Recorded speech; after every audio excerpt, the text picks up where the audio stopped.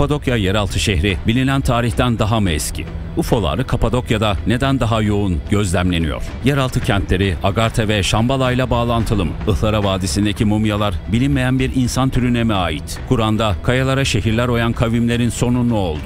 Şimdi kayıt dışında. Merhaba sevgili dostlar. TV100 ekranlarında bir kayıt dışında daha birlikteyiz. Bu hafta programda iki araştırmacı yazarla birlikte olacağız. Farah Yurtözü ve Ali Selman Demirbağ. Efendim insanlığın bilinmeyen tarihine dair yanıtlar aramaya çalışacağız bu programda. Etiketimizi hatırlatayım. Bilenler çünkü Twitter'dan takip ediyor ve yazıyorlar. Bence sır. Sizce e, size göre sır neyse paylaşabilirsiniz, sorular sorabilirsiniz. Efendim izlediniz ama konu başlıklarımız genel itibariyle Kapadokya merkezli. Yani derin kuyuyu konuşmaya çalışacağız. Kapadokya'yı konuşmaya çalışacağız ve Kapadokya yeraltı şehri bilinen tarihinden tarihten yani bize anlatılan tarihten daha mı eski yapıldı? Ve UFO'lar, UFO'ları konuşunca farah olmadan olmuyor ve Kapadokya'da neden çok sık izleniyor ve gözlemleniyor? Yeraltı kentleri Agartha, Şambala ve diğerleri Güney Amerika, Amerika, Asya'daki yeraltı şehirleri acaba e, Kapadokya ile bağlantılı mı? Ve Ihlara Vadisi tabii konuştuğumuz yer. Ihlara Vadisi'nde mumyalar var. Bu mumyalar bilinmeyen bir insan ırkına mı ait? Bunu konuşacağız efendim. E, etiketimizi bir daha hatırlatalım. Bence sır. Bol bol yazabilirsiniz. Bu hafta tanıtacağım kitaplar şöyle. Ali Selman Demirbağ'a ait Beyin Kontrolü kitabı. Kalemde bıraktı gidiyor bizi. Evet e, yine Ali Selman Demirbağ'a ait. Evet yapay depremler ve harp projesi. Ve tabi ilahi komedya. E, kozmik şakacı Atanuri'nin rahmetli Atanuri'nin ve yine Atanuri'nin e, konumuzla çok ilişkili yedi mühür Anadolu'nun gizemli kapıları. Bunları e, bu hafta tanıttım size. Farah hoş geldin. Kapadokya'daydın. Evet çok teşekkürler. Hoş buldum. Kapadokya'daydık hep beraber kalabalık evet. bir grup olarak.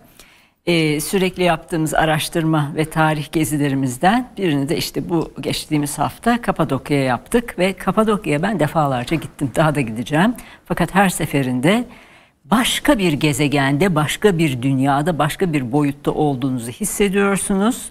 Hem Kapadokya'da yerin üzerinde hem de yerin altında. Kapadokya'yı konuşurken iki boyutlu, üç boyutlu konuşmamız gerekecek. Yerin üzerinde gördüklerimiz ve yerin altında saklananlar. Evet. Hepsi burada. Evet Ali, ne yapıyorsun bu aralar? Bu aralar e, iyiyiz. Ramazan'ı e, idrak evet. ediyoruz hep beraber. E, onun dışında davetler, iftarlar. E, kitap geliyor mu yakında? Kitap inşallah Mayıs'a diyelim. Mayıs'a inşallah diyelim. Ne yazacaksın? Ne var? E, kadim medeniyetlerin e, teknolojileri diye. Teknolojileri. Yani evet, yine bizim konumuzla alakalı. Evet. Yani biz bu teknolojileri daha önceden gerçekleştirmiş olabilir miyiz? İnsan ırkı. Bunlar daha sonra silinmiş olabilir mi? Ve bahsedilen altı helak yani dünyanın altı kere yıkılıp yeniden yapılması gerçek olabilir mi ile alakalı bununla ilgili tarihi bulgular, e, bilim adamlarının görüşleri ve e, bize anlatılanla anlatılmayan tarih sayfaları bunları. Evet paleolitik e, yerleşim alanından bahsediyoruz. Yani evet. e, Kapadokya'dan. Ya şöyle diyebiliriz 60 milyon yıl önce e, lav ve küllerin oluşturduğu ki, bir hikayeye göre e, lav ve küllerin oluşturduğu daha sonra rüzgar ve yağmurlarla aşınmış şu anda işte bizim e, peri bacaları dediğimiz Kapadokya bölgesi ve o bölgeyi yalnızca küçük bir bölge olarak görmemek lazım. Ihlara Vadisi'nin tamamı da dahil olmak üzere belki 4-5 e, hani şehrin e, bir daireyle çizecek olursanız Anadolu'nun tam ortasında bir yerden bahsediyoruz efendim. Şöyle bakmak lazım. Tabi derin kuyudan bahsedeceğiz. Derin kuyu çok ilginç bir yer. 1963 yılında e, daha önce bulundu ama kayıtlarda 1963 yılında diye yazıyorlar. Diyorlar ki işte köylülerin veyahut da bir kişiden bahsediyorlar. Köylülerin tesadüfen bulduğu bir e, yeraltı şehrinden bahsederler. Oysa ki daha önce bulunmuştu, keşfedilmişti. Bunu da eklemek lazım. 1963 yılından bahsettik ve 1965 yılında da e, işte sergiye açıldı veya dolaşıma açıldı. Şimdi şöyle bakmamız lazım buraya. E, bu bölge çok ilginç bir bölge. Bahsedilen rakamların çok dışında. Yani bugün e, yeraltı şehri dediğimiz zaman 20 katlı bir şehirden bahsediyoruz. Biraz sonra Farah'tan da Ali'den de bunların detaylarını göreceğiz ama daha çok olduğunu biliyoruz. Bunların kaç kilometre nereye gittiğini şu anda bilmiyoruz. Ama e, bir kadim bilgi der ki tüm dünya yeraltı şehirlerinden oluşmuştur ve tüm dünya birbirine bağlıdır der. Yani belki Agartha ve Şambalı'yı da konuştuğumuz zaman bunları çok net anlayacağız. Şimdi biz Ali ile ve Farah'la e, herhalde 4 program önce yani ayın birinde diye hatırlıyorum evet, yanlış hatırlamıyorsam program yapmıştık. Fakat şöyle e, Kapadokya'yı konuşalım diye sizden de çok e, ısrar gelince ben de Farah'a dedim ki hadi bir Farah şu Kapadokya'yı konuşalım. Ali sen de bildiklerini bize bir an, araştırdıklarınızı bir, bize bir anlat görelim. Başlayalım şimdi. Kapadokya deyince aklına ne geliyor? Şimdi Kapadokya deyince herkesin aklına peri bacaları gelir. Çünkü yüzeyde gördüğünüz şey o ilginç apartmana benzeyen bazıları gökdelene benzeyen doğal kuleler. Resimleri de isterseniz evet. biraz girelim ki hani tamam. anlattıklarım üzerine mesela birinci resimden falan başlayabiliriz. Tabii Kapadokya çok geniş bir bölge ve değişik vadilerde değişik şeyler görüyorsunuz. Peri bacaları denilen oluşumlar doğal kayalar insan eliyle yapılmış değil ama zaman içinde milyonlarca yıldan bahsediyoruz. Öyle bir şekillenmişler ki hepsi aşağı yukarı birbirine benzeyen kuleleri olan hatta Prag'daki o ünlü kulelere benzeyen oluşumlar ortaya çıkmış. Niye peri bacası deniyor bunlara? Mesela bu Paşa Bağ'da ziyaret ettiğimiz yerler. Peri bacası denmesinin de şöyle bir mitolojik e, geçmişi var. Efendim diyorlar işte binlerce yıl önce buraya gökyüzünden insan olmayan bazı varlıklar geldi, ziyaretçiler geldi. Ve bu kayaların içinde yaşadılar. İnsana benzemiyorlardı ve yerel halk onları gördü, onlara peri dedi. O zamandan beri de bu oluşumlar peri bacası diye adlandırılıyor. Fakat öyle bir ortam var ki bir bilim kurgu filmi çekmek istiyorsanız zaten dekora ve stüdyoya ihtiyacınız yok. Orada çok ilginç bir bilim kurgu filmi çekebilirsiniz. Doğal bir atmosfer var. Yine e, bu geçen hafta çektiğim resimler bunlar aslında benim. E, ünlü yerleri var Kapadokya'nın. Belirli e, vadilerinde gezebileceğiniz, görebileceğiniz ilginç yerler var. Ama bizi tabii asıl bugün ilgilendiren iki şey.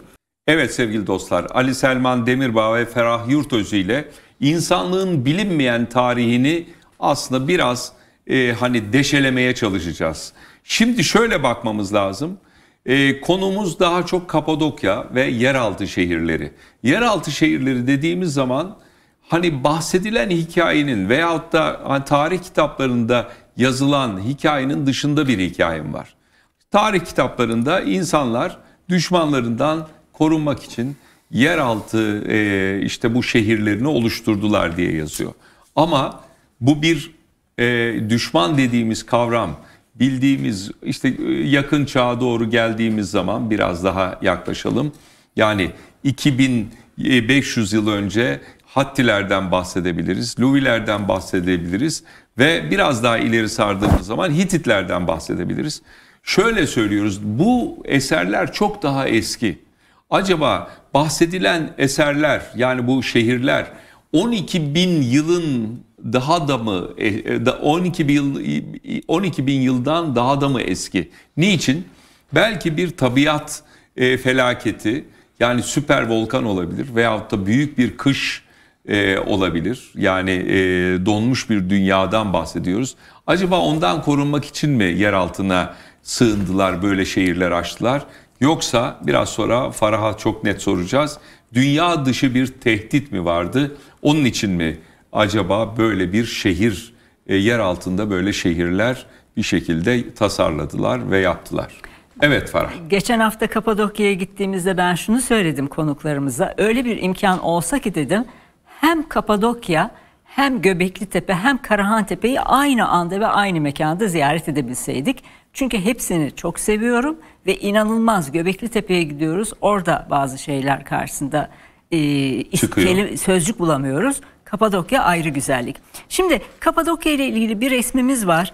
E, 7 numaralı resmi ekrana getirebilirsek daha net bir şey açıklayacağım orada. E, bu e, ekrana Evet, gelecek olan resim evet.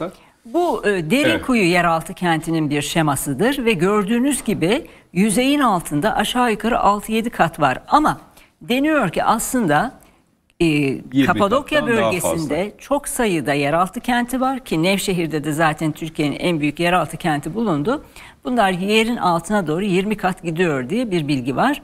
Ve en önemlisi 4 adet havalandırma bacası var bakınız. Para bunları bize bir göster. Yerinde göstereyim, Al peki. Çünkü daha rahat oluyor. Yerinde göstereyim. Şimdi şunu söylemek lazım. Yer altından e, hava bacaları yapmak önemli bir teknoloji değil Çok mi aslında? önemli bir teknoloji. Yani, Yani- bu çok zor bir şey değil Evet. mi?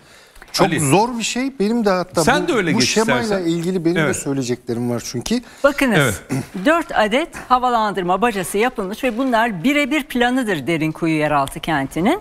Yüzeyde hakikaten çok da güzel bir kilise var onu da ziyaret ettik. E, camiler var işte hala yaşayan insanlar var bunlar birebir aynısı.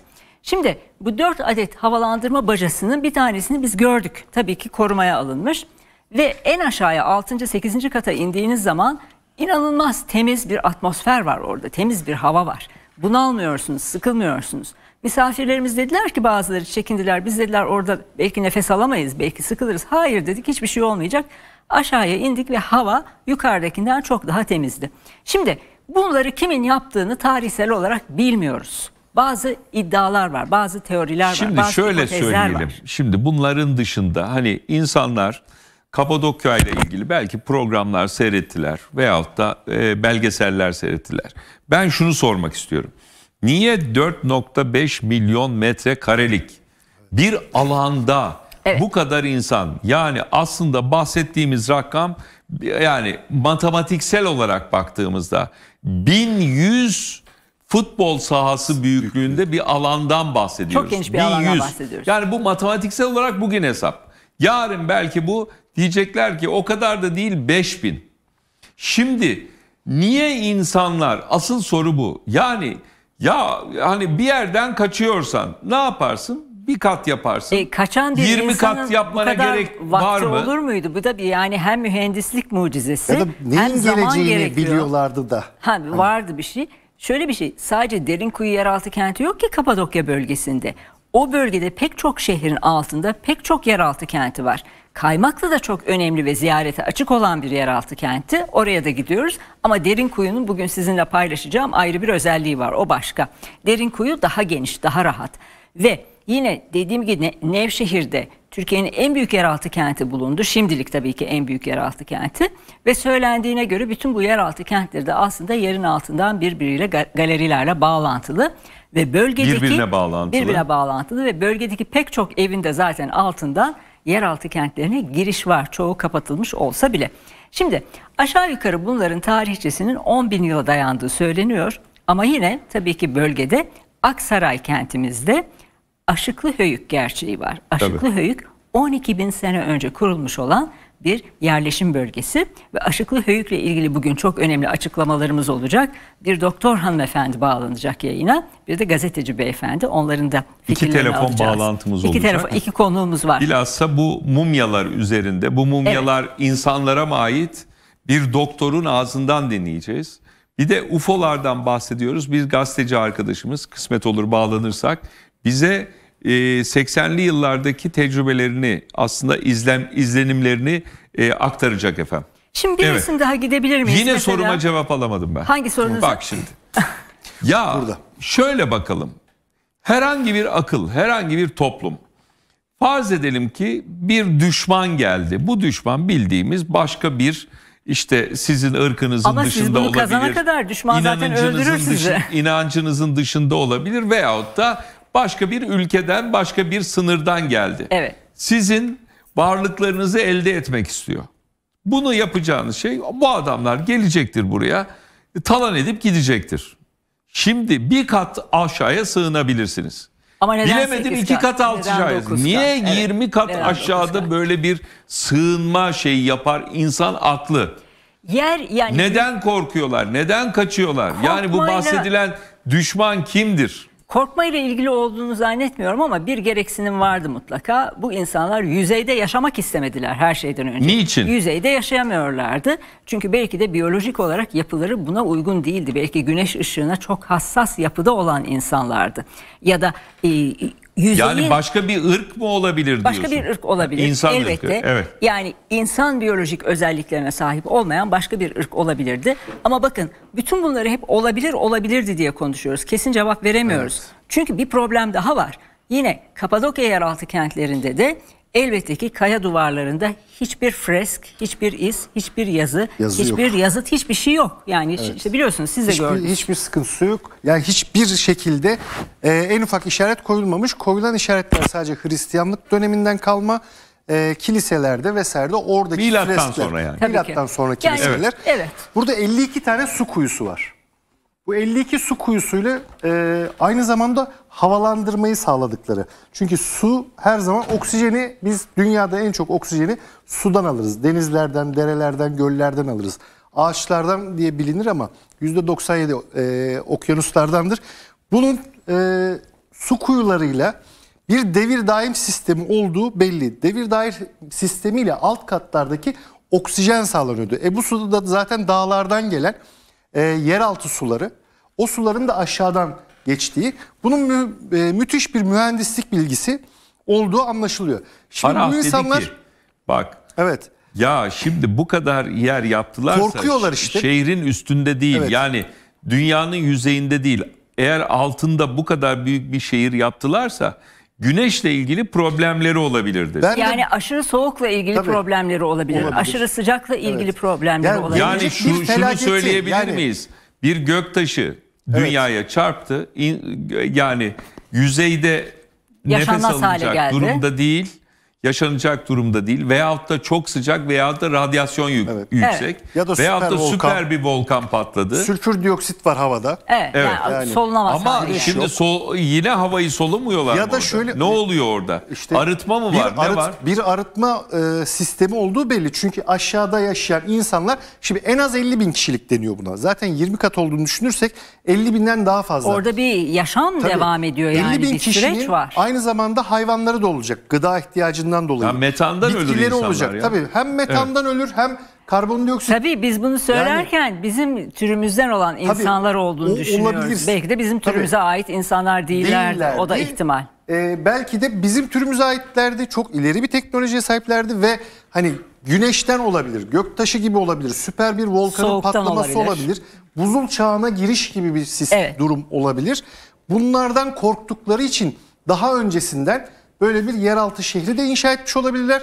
Ya da hakikaten hani e, daha 50 önce bin benim rakamı söylediğim- çok büyük bir rakam tabii bu arada. Tabii bir yani- stat insandan bahsediyoruz. ama 8 katı için 50 bin diyorlar. 20 Evet. katı için Bir de demiyorlar. bir tek derin Yani- kuyu yok. Başka daha birçok yeraltı Ben kenti var yani. isimlerini? Tabii Mesela Derin var. Kuyu Kapadokya, Kaymaklı Yeraltı Kapadokya, Ağırnas Yeraltı Şehri Kayseri, Mucur Yeraltı Şehri Kırşehir, Çeşka Kalesi Yeraltı Şehri Yozgat, Ani Mağaraları Kars, Dara Antik Kenti Mardin, Tatların Yeraltı Şehri Acıgöl Nevşehir, Mazı Yeraltı Şehri Nevşehir, Özkonak Yeraltı Şehri Tabii, Nevşehir, Özkonak. işte, e, Ağırnas Yeraltı Şehri dedik. Ama hepsi bu kadar Evet. geniş değil. Hepsini Tabii. şu anda Büyük ziyaret yeraltı etmek şehri. Aslında ben, bilmiyoruz da daha. Gazi Yani- Keşfedilmemiş yerler var mı yok mu Evet. bilmiyoruz. Bilmediğimiz daha birçok var Evet. ki İstanbul'un zaten tünellerle ve yeraltı şehirle birbiriyle bağlantılı olduğu hatta bu e, bizim e, yere batan sarnıcı ve diğer sarnıçların da mesela- Birbiriyle bağlantılı Yani birbiriyle deniyor. bağlantılı ve Roma'ya tarihliyorlar ama Roma öncesi de olabileceği. Oralarda da biz çünkü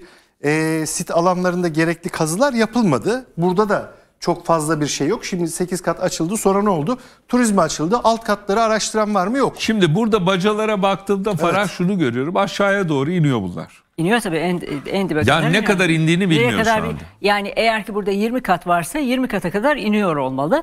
Ve yine rehberimizinki profesyonel 20'ye bir şekilde bir gün ulaştığımızda belki diyecekler ki 50 diyecekler. belki de. Evet. Ve şu var şimdi biz gezdik, geziyoruz işte Derinkuyu Yeraltı Kenti'ni ama bu gördüğümüz toplam Derinkuyu Yeraltı Kenti'nin yüzde beşi yüzde altısı. Yani orada çok rahatlıkla kaybolabilirsiniz ve hiçbir zaman hiç kimse de sizi bulamayabilir. Bulamaz. Aslında çok da tehlikeli.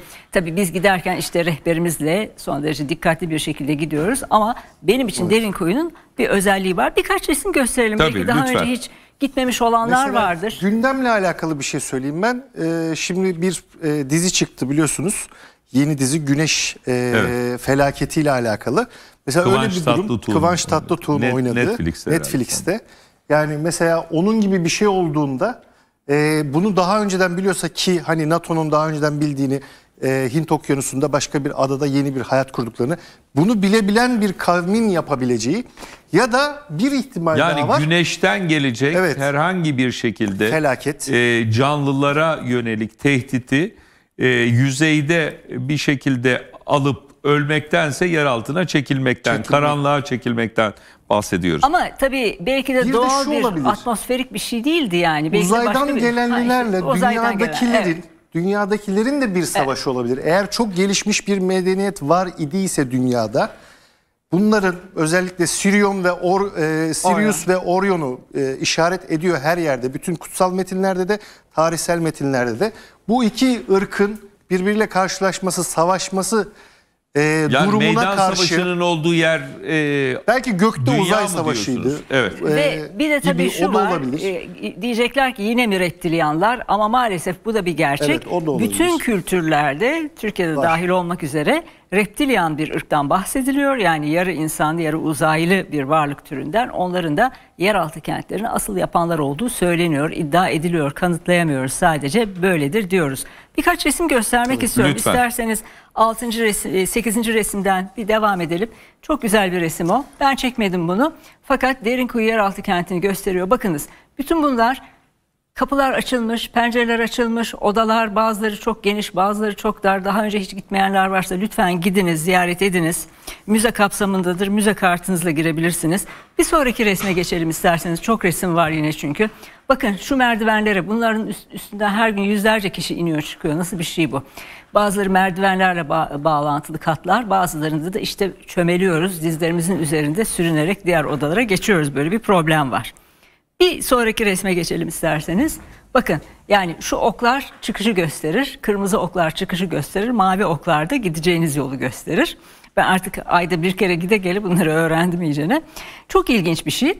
Ve oraya girdiğiniz zaman bakınız e, Kapadokya'da yüzeyde olduğunuz zaman kendinizi başka bir gezegende gibi hissediyorsunuz. Orası kesin. Ama yerin altına indiğiniz zaman zaman ve boyut kavramı kesinlikle ortadan kalkıyor. Ve aşağıya doğru indikçe Derinkuyu yeraltı kentinde veya diğer yeraltı kentleri de aşağıya doğru indikçe hakikaten başkalaştığınızı hissediyorsunuz. Orada farklı bir şey var ve sanki yalnız değilsiniz. Ne hissediyorsun? Farklı ya, ha, bir şey ya, ne demek? Orası yaşayan bir yer. Orada yaşayan bir enerji var. Biz bu sefer gittiğimizde bazı sarkaç çalışmaları yaptık aslında. Yaşayan enerji ne demek? Tarif etsen ne nasıl tarif Boş edersin? kaya, e, toprak değil. Sanki orayı kuranların dijital izleri, spiritüel dijital izleri hala orada. Tekinsiz demek istemiyorum ama sahipli olduğunu söyleyebilirim. Biliyorsunuz bazı mekanlar sahiplidir. Evet. Yani bunu biz sadece evlerde veya efendim işte tarihi binalarda görmüyoruz. Doğal mekanların da özellikle de işte bunun gibi yeraltı kentlerin veya mağaralarında sahipleri var. Ve aramızdan e, biraz psikolojik olarak veya medyumsal olarak hassas misafirlerimiz vardı. Kendilerine dokunulduğunu hissettiler. Etraflarında bir enerjinin, ani bir sıcaklığın dolaştığını hissettiler. Şunu hatırlatmak istiyorum. Biz gittiğimizde hava serindi. Aşağıya daha da indikçe orası iyice serin dedi. Yani hatta üşüdük. Kabanlarımızda falan bayağı üşüdük.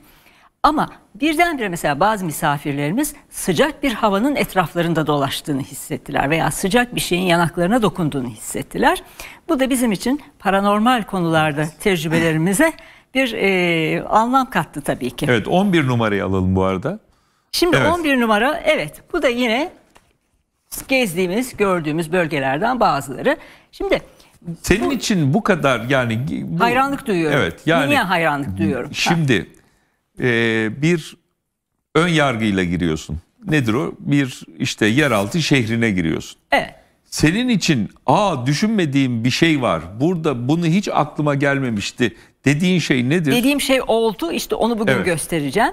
İkincisi zaten hiçbir şey burada düşünemiyorsunuz. Yani 12 bin sene önce burada kimin yaşadığını bilmiyoruz. Nasıl bir aletleri vardı, nasıl bir teknolojileri vardı ki bu kadar ayrıntılı kat kat bu yerleri kurdular, inşa ettiler. Doğal kayaların içine kazıyorlar daha doğrusu. Ama Normal şartlarda bir radarınızın, bir bilgisayarınızın olması lazım ki nereyi kazacaklarını bilsinler. Yani yanlış bir yere kazma vurduğunuz zaman büyük bir felakete, büyük bir göçüğe de neden olabilirsiniz.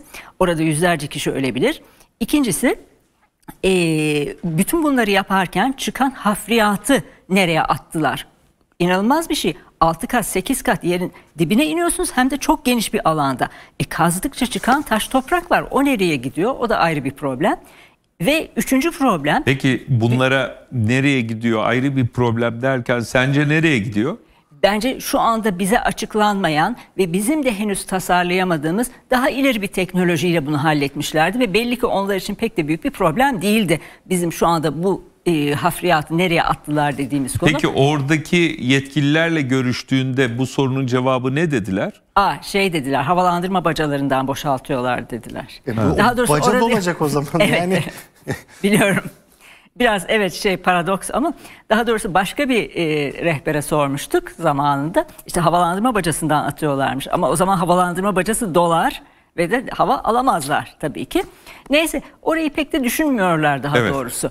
E, bir Bu de tabii nasıl aydınlatıyor? Core diye bir film var. Ne Yine diye? Hollywood filmi Core. Core. Kü, e, çekirdek diye. Ha, evet. E, dünyanın merkezine yolculuk yapıyorlar. Onu izlerlerse böyle bir e, şey ultrasonik bir kırıcı e, inşa ediyorlar, kullanıyorlar. Bir gemi kullanırlar. Evet yani evet. tren gibi 12 numaraya şey. bakalım arkadaşlar ne anlatıyor? Şimdi 12 numara neyi anlatıyor? 12 numara bu bir kapı. Yeraltı kentlerinde kocaman dairesel boyum kadar taşları kapı olarak kullanıyorlardı. Ve tabii ki öyle bir mekanizma geliştirmişler. Çok da basit bir mekanizma aslında. Sadece içeriden açılıp kapanabiliyor. Siz içeriden kapattığınız zaman dışarıdan gelen hiç kimse bu kapıyı açıp içeri giremiyor. Bunu geliştirmişler. Demek ki böyle bir korunma mekanizmasına ihtiyaçları varmış. Dışarıdan gelen açamasın Orta diye. Orta tarafı delik genelde. Evet evet. Çünkü orta tarafı oradan bir gözlemek ah, için. Evet tabii. Bir de evet. oraya herhalde bir e, işte odun bir şey sokuyor evet. onu deviriyor o şekilde. Bunlardan çok sayıda var mesela. Şimdi e, biliyorsunuz siz Core filminden bahsettiniz. Jules Verne'in Dünyanın Merkezine Yolculuk kitabı vardır ve herkes için bu kitap sadece çocuklar için yazılmış bir kurguydu. Ama belki de o kadar da kurgu değildi. Şimdi hiçbiri kurgu olmadığını hiçbiri kurgu sonradan değil, anladık. Sonradan anladık tabii evet. ki. Yeraltı kentlerinin, yeraltı kentlerinin mitolojide ve biraz da tarihte bazı sahipleri var. Mesela Hititlerde olduğu gibi 13. resme geçersek orada biraz anlatacağım. Hititlerin 12 yeraltı tanrısı. 12 yeraltı tanrısı Hititler için çok önemli. Zaten 12 sayısı bütün bu geçmiş kadim uygarlıklar için çok önemli. Biz de eğer 13. E, resmi ekrana getirebilirsek daha net biraz açıklayacağım orada. 12 yeraltı tanrısı Hititlerde. Diyorlar ki bizim tanrılarımız hem gökyüzünden geliyorlardı hem de yerin altından çıkıyorlardı. Ki zaten bu Anunnaki dediğimiz ırkta da görüyoruz bunu. Anunnaki kelimesinin anlamı yeryüzünden ve yerin içinden gelenler. Demek ki her 12 toplumda... numarayı alalım mı? Evet. Evet. 13 numarayı daha doğrusu. Evet 13 evet, numara. burası. Tamam. Şimdi bakınız. Bu beni yine hayranlık duyduğum kabartmalardan biri Hititlere ait 12 yeraltı tanrısı. Ve bakıyoruz bu tanrılar her nedense birbirinin örneği üniformalar giymişler, çizmeleri var, ceketleri var, kemerleri var. Birbirinin aynı olan miğferleri var ve bir de ellerinde bir cihaz veya bir silah var. Artık o neyse. Neden Hititler tanrılarını bu kadar insanlaştırdılar? Yani acaba yer altından gelenler gerçekte tanrı değildi ama belki de bir şekilde boyutlar arası yolculuk yapmanın e, sırrına sırrına ermiş olan uzaysal bir ziyaretçi grubu muydu acaba bunlar? Sanki birer pilot gibi. Ve bir de şu var tabii. UFO'larla ilgili yakın karşılaşmalarda yani UFO uzaylılarla yakın karşılaşmalarda dünyanın pek çok yerinde insanlar uzaysal varlıkları üniformalı gördüklerini anlatıyorlar. Bugün hala ve neden diyorum ben de bir uzaysal şahsı, bir kadını veya bir erkeği bu kadar insanlaştırıyorlar. Ama gördükleri bu üniformalı insan görünümünde gelen bu uzaysal varlıklar acaba binlerce yıl önce Hititlerin de ziyaretçisi olmuş muydu? Şimdi e, Jules Verne'den bahsettik ama iki isimden daha bahsetmek istiyorum. İki bilim adamı 18. yüzyılda onlar da dünyanın içinin oyuk olduğunu, boş olduğunu söylemişler ve demişler ki dünyanın sadece yüzeyinde hayat yok, içinde de hayat var. Mesela bunlardan bir tanesi Edmund Halley ve Halley kuyruklu yıldızına ismini veren kişi. Keşfeden değil ama ismi verilmiş. Diyor ki Dünyanın, bakınız 17. Evet, 18. Dünya teorisi. Oyuk dünya teorisi evet. yani zaten var. Sonradan uydurulmuş bir şey değil. Ve deniyor ki dünyanın içinde de bir medeniyet vardır. Dünyanın içinde yaşayan bir ırk vardır. Bir bilim adamı daha var. Yine 18. yüzyıldan 19. yüzyılda da yaşamış. O da İngiltere'den. O da diyor ki dünyanın içi oyuktur. Dünyanın içi boş değildir. Yani orada bir ırk yaşar. Aslında Tabii bunlardan çok daha sonra yani 100, 100 yıl sonra Jules Verne çıkıyor ortaya. Jules Verne çıkıyor ama yani arada 1800. başka biri daha var bahsetmek istediğim ve bu konularla ilgili araştırma yapan sevgili dostlarımızın ben bu kişinin eserlerine Nicolas Roerich aslında bir Rus.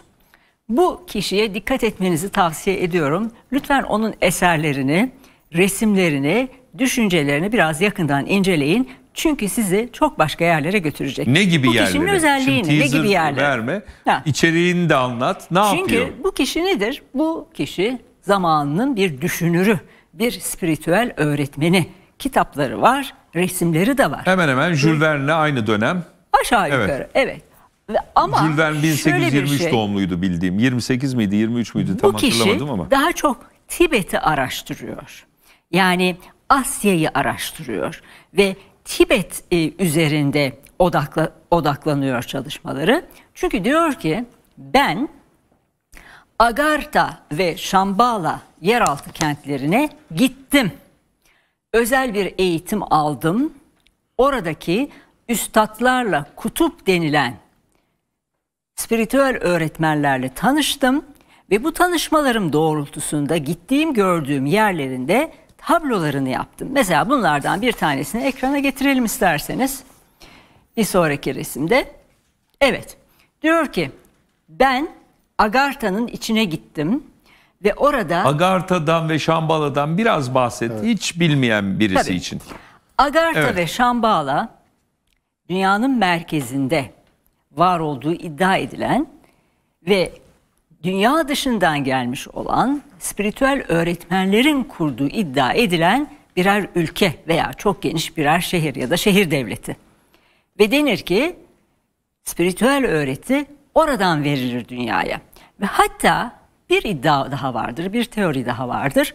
UFO'lar aslında gökyüzünden veya de. başka gezegenlerden gelmiyor, dünyanın içinden çıkıyor ki bununla ilgili bazı görsellerimiz olacak. Şöyle yapacağız. Agartha'dan bahsederken Şambala nedir onu konuşacağız. Ama ufak bir reklam arası. Bu arada çok önemli bir şey var. E, mumyaları konuşacağız. Bu mumyalar e, bir doktor arkadaşımıza bağlanacağız. Bunlar e, insan mı yoksa başka bir e, yaratık mı, varlık mı? Bunları konuşacağız efendim. Ufak bir reklam arası hemen dönüyoruz. Evet sevgili dostlar, tarihin bilinmeyen, bize anlatılmayan konularını konuşuyoruz. O koridorlarda dolaşmaya çalışıyoruz. Farah Yurtözü ve Ali Selman Demirbay'la. E, Farah kaldığın yerden devam edelim istersen. Kaldığım yerden Ama devam edelim. şöyle bir şey dedin, onun için Hı. ilginç geldi. E, hani bu konuları konuşurken hep diyorsun ki burada farklı bir atmosfer varlık var. var. Evet, Olabilir, var. olmayabilir. Olabilir. Ne demek istiyorsun? İki şeyi söylemek istiyorum. Birincisi Kapadokya'da yaşamış olan yani yeraltı kentlerini yapmış olan ırkın dünya dışı mıydı, dünya içi miydi, insandan farklı mıydı? Kim olduklarını bilmiyoruz. Ama biz geçen haftaki ziyaretimizde Aksaray Müzesi'ne gittik sevgili dostlar. Aksaray Müzesi'ne lütfen gidin. Muhteşem bir müze. Ve orada iki konu bizim çok fazla ilgimizi çekti. Onun fotoğraflarını da sizlerle paylaşacağım. Ve geçen haftaki gezimizde yanımızda 3 tıp doktoru vardı. 3 hekim vardı. Bunlardan bir tanesi bir doktor hanımefendi şimdi bizimle canlı yayında konuşacak ve ona bazı sorularımız Safinaz olacak. Payaş Hanım. Safinaz evet. Payaş hanımefendi. Çünkü beraberdik. Ne gördük biz Aksaray Müzesi'nde? İsterseniz 56 e, numaralı resme bir gidelim. 56 numaralı resme gidelim ki onun üzerinde konuşacağız. Aşıklı Höyük Aksaray'da Aşıklı Höyük var. Aşıklı evet. Höyük Göbekli Tepe'den daha eski bir yerleşim yeri. 12 bin sene öncesinde insanlar burada yaşamışlar, ölülerini gömmüşler. O sebeple de bazı kafatasları bulundu ve bu kafataslarından bir tanesi Aksaray Müzesi'nde ziyarette açık izleyebiliyorsunuz. Üzerinde bir delik var. Şimdi basında e, dünyadaki ilk beyin ameliyatı ya da Türkiye'deki ilk beyin ameliyatı 12 bin sene önce Aksaray'da yapıldı diye bir haber çıktı. Bunun üzerinde biz durduk ve e, ziyaretçilerimizle beraber, doktor hanımla beraber bu kuru kafayı, kafatasını daha doğrusu yakından görme imkanımız oldu. Ve dedik ki e, 59. resme gidebilirsek daha net göreceğiz 59. resimde. 12 bin sene önce bir beyin ameliyatı yapılmasının imkanı var mıydı? Bu bir beyin delik, ameliyatı beyin yoksa, ameliyatı mıydı yoksa başka yoksa bir şey bir, miydi? Yani bir silah mıydı? Kesici bir e, evet. aletle e, oradaki evet. artık Şimdi, insan artık doktor hangi hanıma sorabilir miyiz şu tabii, anda? Tabii tabii. Bağlanabilir miyiz? Safinaz Hanım'a. Telefonla. Kendisi evet, de bizi telefonumuzda. kırmadı. Safinaz Hanım ha? hoş geldiniz. Hoş bulduk. İyi Nasılsınız? Akşamlar. İyi akşamlar. Teşekkür ederim. Ee, ben iyi görünüyorsunuz. Çok teşekkür ederiz efendim. Şimdi sizin e, ihtisas alanınız nedir? Benim e, ihtisas alanımın e, e, dahiliye ile ilgili yani e, iç hastalıkları tamamen evet. dışında bir durum. Ama sadece gördüklerimi, e, Ama kaç yıllık doktorsunuz siz? Efendim? Kaç yıllık doktorsunuz? Ee, Kaç yıl 80, oldu meslekte? 80 mezunuyum herhalde 40 yılı geçti. 40 yılı geçti. Yani siz artık herhangi bir yani tabii ki burada otopsi yapılması lazım. Belki adli tıptan insanlar lazım böyle e, vakalar için ama siz evet. 40 yıllık bir doktor olarak hemen hemen neyin ne olduğunu biliyorsunuz. Tabii siz de bu alandaki konulara ilgi duyduğunuz için tarihi evet. mekanları dolaştınız. Efendim evet. ne gördünüz? Sizin için ilginç olan Vallahi neydi? şimdi bu kafatası için benim için ilginç olan e, iki konu var. E, ses çok parazitli geliyor. Biz sizi, Biz sizi duyuyoruz. çok net duyuyoruz. Tamam. Ee, iki konu var. Birincisi burada açılan delik son derece düzgün. Ee, 12 bin yıl önce bu kadar düzgün, kusursuz bir delik hangi aletle açılmış olabilir? Yani obsidyen bir taşla bu kusursuz deliği nasıl açabildi oradaki insanlar? Birinci e, kafamdaki soru bu. İkincisi ise e, bildiğimiz gibi yazı milattan önce 4000 yılında bulundu. Bu e, kafatası 10.500 yıllık. Arada geçen 6000 yazının bilinmediği, bilimin olmadığı, okuma yazmanın olmadığı bir dönem var. Bu insanlar e, eğitim almadan bu beynin bu bölgesine girilmesi gerektiğini yani beynin herhangi bir yerine girmemişler. E, bu bölgeye girmesi gerektiğini, e, dilinmesi gerektiğini nereden biliyorlar? E, beyin Peki bu ameliyatı, bir ameliyat mı sizce? Yoksa e, bu bir trepanasyon yani kesici olayı. bir aletle Hayır. acaba bir e, cinayet veya veya bir vaka mı işlendi? Ha, hayır. Cinayet olsa kafatasının e, kemiğin kırılması lazım, çatlak olması lazım.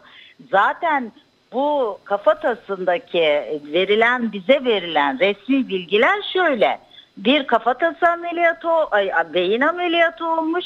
Beyin ameliyatından sonra e, kemik yapısı yeniden oluşmuş. 20 gün daha bu kadın yaşamış. Yeniden e, bu deliğin olduğu yerde yeni kemik hücreleri oluşmuş. Kadını yaşatmışlar. Bu bir beyin ameliyatı. Zaten resmi olarak bize sunulan bilgide bir beyin ameliyatı oldu. Şimdi okuma yazmanın olmadığı, kitapların olmadığı, eğitimin olmadığı, hiçbir iletişimin olmadığı bir dönemde e, bu ameliyatı nasıl yapıyorlar? Demek ki birilerinden öğrenmişler. Yani o zaman soruyoruz kimlerden bu bilgiyi aldılar? Ameliyat ettiler bu kadına. Sonra anestezi konusunu nasıl hallettiniz? Anestezi konusu için şöyle e, düşüncelerim var. O dönemde otlar var, uyuşturucu, e, e şey, Bitkisel. E, ne bileyim bitkiler var. Kurbağa, onlarla e, ameliyat yapılabilir, yani onlarla uyuşturulmuş olabilir. Çünkü kemikten geçtikten sonra çok da fazla ağrının duyulmadığını biliyorum. Beyin Bir de mesela bu delme işleminden sonra kaç santim delinecek, ne kadar delineceğini nereden biliyorlar? Bütün bunlar e, hep soruyorum yani ben bunları bir şey diyemiyorum. O zaman bu bilgileri nereden aldılar? Birileri öğretmişler demek şimdi, ki. Şimdi e, Safinaz Hanım sevgili hmm. doktorum şimdi bunun dışında ilginç olan ne gördünüz müzede dolaşırken? Bu kafatası dışında mı? Evet evet. E, mumyalar var bebek Onları mumyalar İsterseniz var. onları da konuşalım Bir Farah. şey daha var Tamam. yalnız mumyalardan önce. Ee, biz geçen hafta sonu işte müzeyi, e, geçen pazar daha doğrusu müzeyi ziyaret ederken doktor hanımla eşi olan doktor beyle bir de öğretim üyesi bir doktor hanım daha vardı ekibimizde. Orada dişler dikkatimizi çekti. İsterseniz bir de e, at, e, 63 numaralı resme gidelim. Hatta doktorunuz dedi ki bu dişler nasıl bu kadar muntazam olabilir? Evet bakınız az önce bu gördüğümüz bebek. Evet az önce gördüğümüz kafatasına ait olan çene kemiği ve dişler mükemmel dişler. Şu ve, an ben ekranda bebek görüyorum. Hadi, bebek yok. mumya. O geçti. Yok şimdi gelecek size. Siz biraz geç evet. alacaksınız. Dişler var. Ve e, bu kafatası üzerinde de DNA araştırması Aa, yapılmış evet. aslında. 20-25 yaşlarında bir kadına ait olduğu söyleniyor ve Akdeniz insan ırkına ait. Ama dişleri nasıl bu kadar kusursuz olabilir? Doktor hanım ne dersiniz? Ee, ben de onu düşündüm. Çok kusursuz, inci gibi dişleri var. E bunlar e, bu kadıncağız 10.500 yıl önce yaşamış. Bunlar ne yiyorlardı? Hani bizim bildiğimiz e, eski çağ insanları Hani ne bulurlarsa onu yerler, çiğ et yerler. Hani belki pişirmişlerdir ama tam bizim bildiğimiz gibi bir pişirme işlemi yapılıyor muydu? Yani öyle biriyse nasıl bu kadar düzgün dişleri olabiliyor? Günümüzün evet. insanı gibi bunların dişleri Daha diye düşündüm. Veyahut da bunlar bir şekilde e, orada yaşayan yerli halkın dışında bir mı, mı evet. sorusu geliyor evet. aklıma. Hep evet. öyle sorularla evet. gidiyoruz. Yalnız evet. şöyle gördüğünüz kadarıyla doktor hanım bu kafatası bir insana ait miydi sizce? İnsana ait. Bu bir insana ait. Dişler de insana Öyle. ait. Ama insana mumyalara ait. geldiğimiz zaman durum değişti. Evet. E, 64 numaralı resme geçebilir miyiz mümkünse? 64. Evet. Şimdi bakınız aynı müzede sergilenen bir grup mumyalar var. Bunlar Ihlara Vadisi'nde yer alan kaya kiliselerinin içinde bulunmuş zamanında ve yüzlercesi varmış. Fakat maalesef tahrip edilmiş. Kurtarılabilen küçük bir grupta şu anda müzede sergileniyor. Aksaray Müzesi'nde sergileniyor. Ama bu mumyalar iskelet değil. Yani üzerlerinde hala biyolojik doku var. Fakat bir şekilde birbirinin aynı özelliklere sahip, sanki aynı kalıptan çıkmış gibi benzer mumyalar. Bundan sonrasını doktor hanıma bırakmak istiyorum. Ne dersiniz? Şimdi ben bu e, bebek mumyalarını gördüğümde e, ilk önce hastalıklı bir bebek diye düşündüm. Acaba bir hastalık çünkü kafaları çok büyüktü bizim hidrosefali dediğimiz gibi çok büyük kafası vardı. Ee, bebek dediklerine göre bu e, mumyalar 0 ile 2 yaş arasındadır diye düşündüm. 0-2 yaştaki bir bebeğe göre kafası çok büyük. Kolları uzun, elleri, el parmakları uzun, tırnaklar çok belirgin, göz çukurları geniş, o zaman acaba dedim bunlara bir DNA testi, bir soy araştırması, bir yaş tayini yapıldı mı bunlara? Bunlar hakkında bilgimiz yok. Ee, olursa eğer e, nereye ait olduğu e, no tespit edebiliriz. Buradan şunu söylemeye mi çalışıyorsunuz? Veyahut da hani siz doktor olduğunuz için çok net bir şey söylemiyorsunuz ama bu evet. bir yani bizim daha çok uzaylı dediğimiz e, varlıklar var. Biliyorsunuz boyları kısa, kafaları büyük, Aha. göz çıkırları evet. büyük olan hı hı. E, hemen hemen yani bu mumya değil de canlı bir figür olsa bizim daha çok griler dediğimiz evet. e, varlıklara e, benziyor mu değil. Yani o e, Şimdi, konuda evet.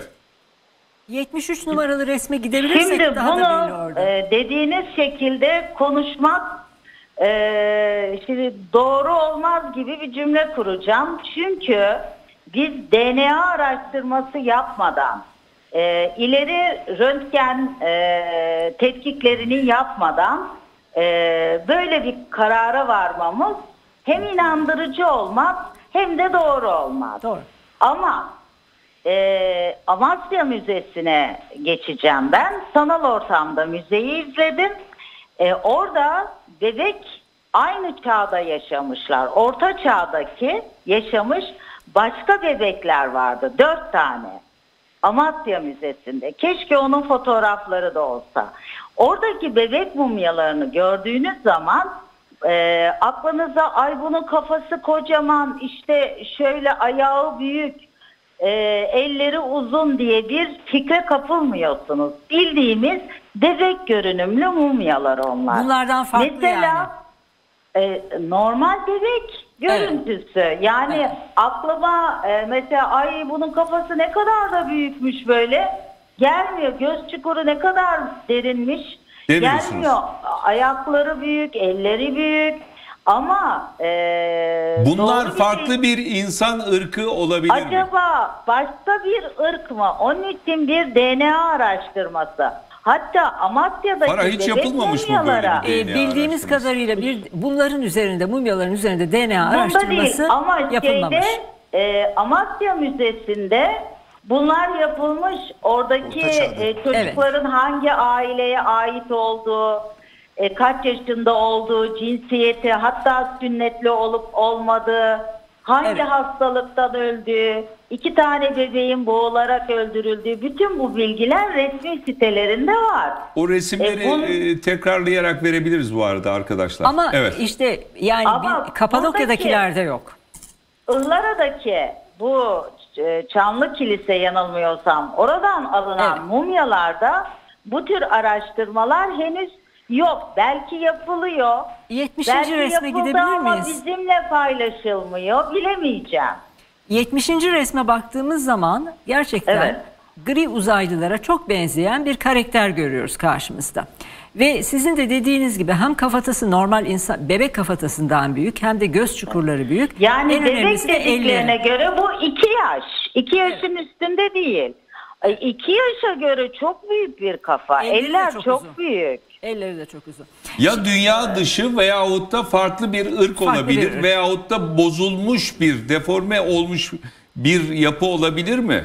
Deforme olmuş ama kafası çok büyük. Kafası ha. çok büyük. Eller e, yani iskelet yapısı deforme olmamış görünüyor. Peki, Peki bunların bir soru daha. Bunların birbirine çok benziyor olması Farah bu soru sana evet, da. Evet, evet. E, acaba evet. klonlanmış olabilirler mi diye Vallahi aklıma... o soruyu biz de sorduk. Evet. Ama e, biliyorsunuz ara, tetkikler yapılmadan ne söylersek e, boş yani. Bir Doktor DNA Hanım, yok. E, şimdi sizinle o gün ne konuşmuştuk hatırlıyorsunuz. Hı-hı. Dedik ki adli tıp adli tıbbın, evet, adli tabiplerin adli tıp. arkeologlarla beraber çalışması lazım. Evet, yani hatta artık, antropologlar da. Zaten ama yani arkeolojide adli tıbbın da bir bölüm açması lazım. Daha doğrusu Tabii adli ki. tıbbın da arkeolojiyle ilgili bir bölüm açması lazım ve kesinlikle bu mumyaların üzerinde adli tıbbın, toksikolojinin ve diğer adli tıp e, birimlerinin bazı araştırmalar yapması gerekiyor. Özellikle DNA araştırması. Şimdi burada benim dikkatimi mesela şimdi siz bir hekim olarak konuşuyorsunuz. Ben de Hı. senelerden beri bu konuların araştırmacısı olarak ne gördüm? Mumyalar, Hı. Aksaray Müzesi'ndeki mumyalar çocuk mumyası, bebek mumyası olarak geçiyor. Ama kız bebek hı hı. midir, erkek bebek midir onu anlayamıyoruz. Fakat hı hı. hepsi birbirine çok benziyor. Ve aşağı yukarı evet. hepsinin boyları aynı olduğuna göre aynı yaş grubunda olduğunu düşünebiliriz ki bunlardan yüzlercesi varmış. Şimdi şunu hı hı. düşüneceğiz. Yüzlerce çocuk mu öldü? Ya da onlarca evet. çocuk aynı yaşta mıydı da öldü? Nasıl öldüler? Hı hı. İkincisi bu mumyaların bin senelik olduğu söyleniyor ama belki de daha eskidir. Bilmiyoruz çünkü araştırma yapılmadı üzerinde. Bin sene önce mumyalama geleneği bizim topraklarımızda Kapadokya'da var mıydı yok muydu? Amasya'dakiler başka. Onlar daha sonraki ırklar. Daha yeni onlar. 8, Biliyorum onları. Amasya için 800 yıl diyorlar. O daha yeni. Ee, bir Amasya'daki çocukların fotoğraflarını buldum, attım. Onu da bu resimle yan yana koyarsak Evet. aslında doktor hanımın ve Farah'ın ne demek istediğini e, sevgili izleyicilere çok net anlatacağız. Evet, çünkü farklı. Bir soru da ben soruyorum bu arada. Araya girdim. Ee, bir cesete DNA ile ilgili bir inceleme yaptığımızda en fazla ne kadar geriye gidebiliyoruz? Hmm. Biliyor musunuz? Vallahi e, o DNA'nın e, tespit edilebilmesi için o hücrelerin e, sağlamlık derecesiyle ilgili diye düşünüyorum. Çok fazla bilgim yok bu konuda ama hücreler e, ne kadar iyi korunmuşsa DNA tespiti de o kadar rahat olur. Biraz sonra bol bol sana Ali bu konularda so- e, sorular soracağız. Öteki resmi getirebilince getirdiğimiz zaman bir haber verin. Farah sen devam et istersen. Ee, şunu görüyorum. Şimdi bunlar kiliselerde yani kaya kiliseleri o bölgede kayaların içine kurulmuş olan ilk Hristiyanlar tarafından kurulmuş olan kiliseler var. Yani e, e, kayanın içinde yapılmış olan ilk kiliseler diyelim. Bu mumyalar da kiliselerin içinde bulunmuş. O neden oralara gömüldü? Neden oralarda saklandı? Kim bunları oraya getirdi ve hangi amaçla? Mesela bunlar eğer bebek mumyasıysa peki bunların anneleri babaları aileleri de mumyalanması gerekirdi. Neden sadece çocuklar mumyalandı? Şimdi bence yine tabii aceleci Evet. karar bir tane vermemek benim lazım attığım ama resim var. e, bebek olmayabilir, başka bir ırka ait, dünya dışı, dünya içi, boyutlar arası insan olmayan başka bir ırkın belki de yetişkin insanlarıydı. Bu Amasya'daki Ve bebek bu Bu Amasya'daki. arada. Bakın Evet. bu uzun boylu bir çocuk. Bu sanki aşağı yukarı bir 3 yaşında, 4 yaşında bir Tabii, çocuk gibi tabii. görünüyor. İki yaşın üstünde. iki yaşın Oranlarından üstü. görüyoruz. Kafası normal büyüklükte. Bacakları Yine uzun. büyük ama normal E, büyüklükte. ayaklarına bakın ne kadar ufak. E, Evet. Yaşı büyük olmasına rağmen ufacık ayakları var. Öteki resmi de bir getir- getirelim üst üste. Amasya. Yok şeyi e, bu bahsedilen varlıklardan. Bizim mumyaları yani. Evet. Aksaray mumyaları. Yani aradaki Evet. farkı görsünler. Arada evet gerçekten bir fark var. Ve e, doktoranın ilk andan beri söylediği şey bunların kafatası normal insan kafatasından büyük ve göz çukurları normal insan gözünden daha büyük. Bir de tabii şu var e, erken yaşta ölüm eğer ki bunlar çocuksa tabii ki erken yaşta ölüp saptan yani neden öldü saptan, saptanabilir mi doktor hanım? Tabii ki e, şeyde tabii bunlara adli ta- tabii e, tabii Cevap ki verir. bunu yapacak olan kişi e, hep Onu da verelim. mecburen Amasya Müzesi'ne Yan yana verebiliyor örnek muyuz veriyorum. bunları? Amasya'daki çocukların dört tane çocuğun ikisinin Tamam, zaman boğularak hani öldürüldüğü, ikisinin de hastalıktan öldüğü tespit edilmiş. Şimdi bu National resim- Geographic grubu gelmiş endoskopi yaparak iç organlarını e, araştırmışlar, hastalıkları tespit etmişler. Tabii ki bunlara da yapılabilir aynı işlemler. Evet. Hocam şimdi bu gördüğünüz. Amasya'daki bebek. Bakın aynı açıya yakın bir açı olduğu için söyledim. Evet. Bir de mumyalara gelelim arkadaşlar. Bakın bu da Ya bunlar. bu bebek işte yani bebek yani şu an Evet. Amasya'daki. Yani bunların pek de işte insan çocuğuna benzer bir Yani yok. tabii ki bunu e, hiçbir araştırma yapılmadan söylememiz Söyle. zor. Ee, bir Ama de 74. bir de resme diyeceğiz. gidebilir miyiz? 74'te de e, doktor hanımın fikrini almak istiyorum. Bakın bu da bizim yine geçen pazar gördüğümüz, sizinle beraber yakından gördüğümüz mumyalardan biri. Mesela burada da göz çukurları kafatası, ne kadar belirgin, büyük. e, kafatası da büyük değil mi sizce? Kafatası tabii ki. Evet yani e, bir çocuğun kafatası bu kadar büyük olabilir Yani miydi? iki, iki yaşta. Biz şimdi maksimum iki yaş diyoruz. Evet. Bebek diyorlar çünkü. E, Ayaklarına baksanıza. e, Evet. Ne kadar bu büyük iskelete ayakları var. veya mumyaya et ve e, hani deri giydirsek Evet. Steven Spielberg'ün filmlerine dönüşecek Deki gibi evet geliyor. yani Evet. uzaysal Gri. varlıklara benziyor, gri varlıklara benziyor ki eğer ki eğer ki bu gördüğümüz mumyalar ve tahrip edilen yüzlerce mumya bir zamanlar Kapadokya bölgesinde işte bugün ziyaret ettiğimiz yerlerde yeraltı kentlerinde yaşayan bir ırk var idiyse ya da bunlar tarafından yeraltı kentleri inşa edildiyse o zaman bir kez daha aynı şeyi söylerim. tarihin değiştiği coğrafyada yaşıyoruz. Evet. Hocam e, bir soru sormak istiyorum. Bölgeyi e, işte ziyaret ediyorsunuz. Herhalde birkaç kere gittiniz. Sizin için en enteresan ve en hani hiç konuşulmayan konu nedir veyahut da gözleminiz nedir? Valla en konuşulmayan konu bu e, mumyaların neden diğer bebek mumyaları gibi başka şehirlerdeki bu mumyalar neden incelenmemiş ya da incelenmemişse neden bizim incelenmişse neden bizimle paylaşılmamış? Benim için en ilginci buydu. Evet. Hocam çok teşekkür ediyoruz Rica katkılarınızdan ederim. dolayı. Doktor Safinaz Payaş'a çok teşekkür ediyoruz. İç hastalıkları uzmanı. Çok teşekkür Bölgeden e, izlenimlerini bize aktardı. Efendim görüşmek üzere. Görüşürüz. Ee, Ali ne ekleyeceksin? Hoşça bir kalın. tıpla uğraşan Şimdi, birisi olarak. E, aslında kafatasından başlayalım hemen kısaca. Evet. Şimdi bu kafatasını kesen, oyan, delen cihazları biz üretiyoruz. Yani bugünkü beyin bugün ameliyatları. beyin ameliyatların hepsinde e, bunların adı tur motoru. Şimdi perforatör diye bir cihazımız var. Perforatörle biz kafatasını deleriz ve e, boz sıvısının içinde beyne zarar vermeden sadece kafatası çıkartılır. Kronomiyoti, e, e, kronomiyoti ile e, keseriz.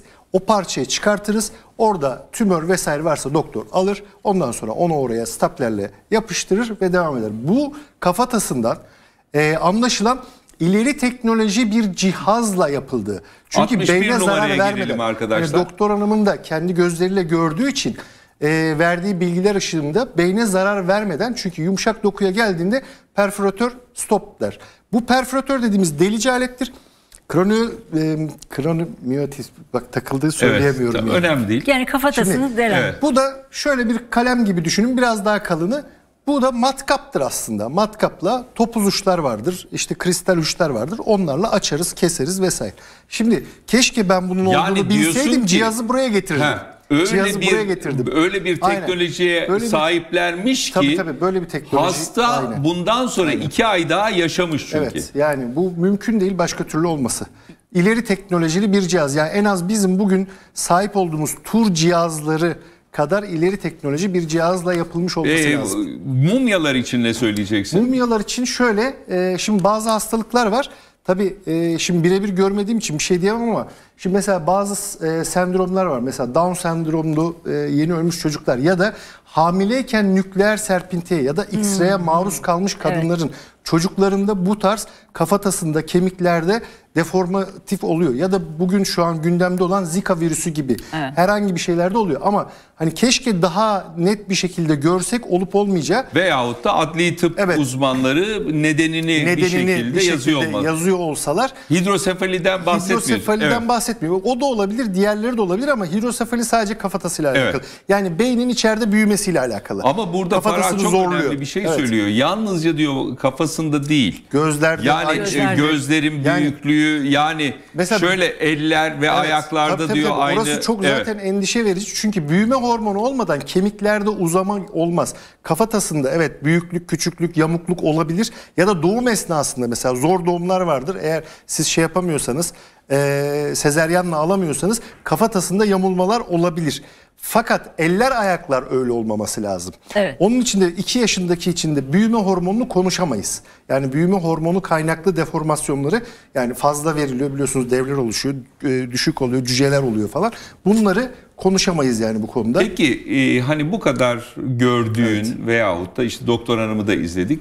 Yani bu e, mumyalar için ne söylersin sen? Yani şimdi bir, yani buradan bir zaten, analiz yapsan bu, gördüğün kadar. Gördüğümüz kadarıyla e, net bir şekilde ellerin ve ayakların aslında 8-10 yaşında bir çocuğa ait olduğu. Evet. E, kafasının da yine aynı şekilde 8-10 yaşında bir çocuğa e, farklı bir e, iki Kafa yaşındaki tabi iki yaşındaki bedene, bedene yani giydirilmiş baş gibi. Baş ve vücut aynı yaşta tabii, değil. Aynı yaşta değil baş gibi. Baş ve vücut aynı tabii yaşta bununla değil. ilgili bir sürü şey söylenebilir. Mesela ezoterik olarak bakarsak hani Lilith'in çocukları diye bir kavram var biliyorsunuz. Yani bir insan cin karışımı bir mevzu da olabilir. Bilmiyoruz. Sonra bunların yani, diğerleri niye tahrip edildi? Niye yeşiller, yok edildi mumyalar? Evet. Yani bir de yüzlerce olduğu için hani evet. bir nükleer serpinti mi yaşandı? Çernobil Çoklu gibi. bir ölüm mü oldu? Evet Çernobil gibi çünkü yüzlerce çocuk mumyası varsa o zaman yüzlerce hamile kadın var demektir.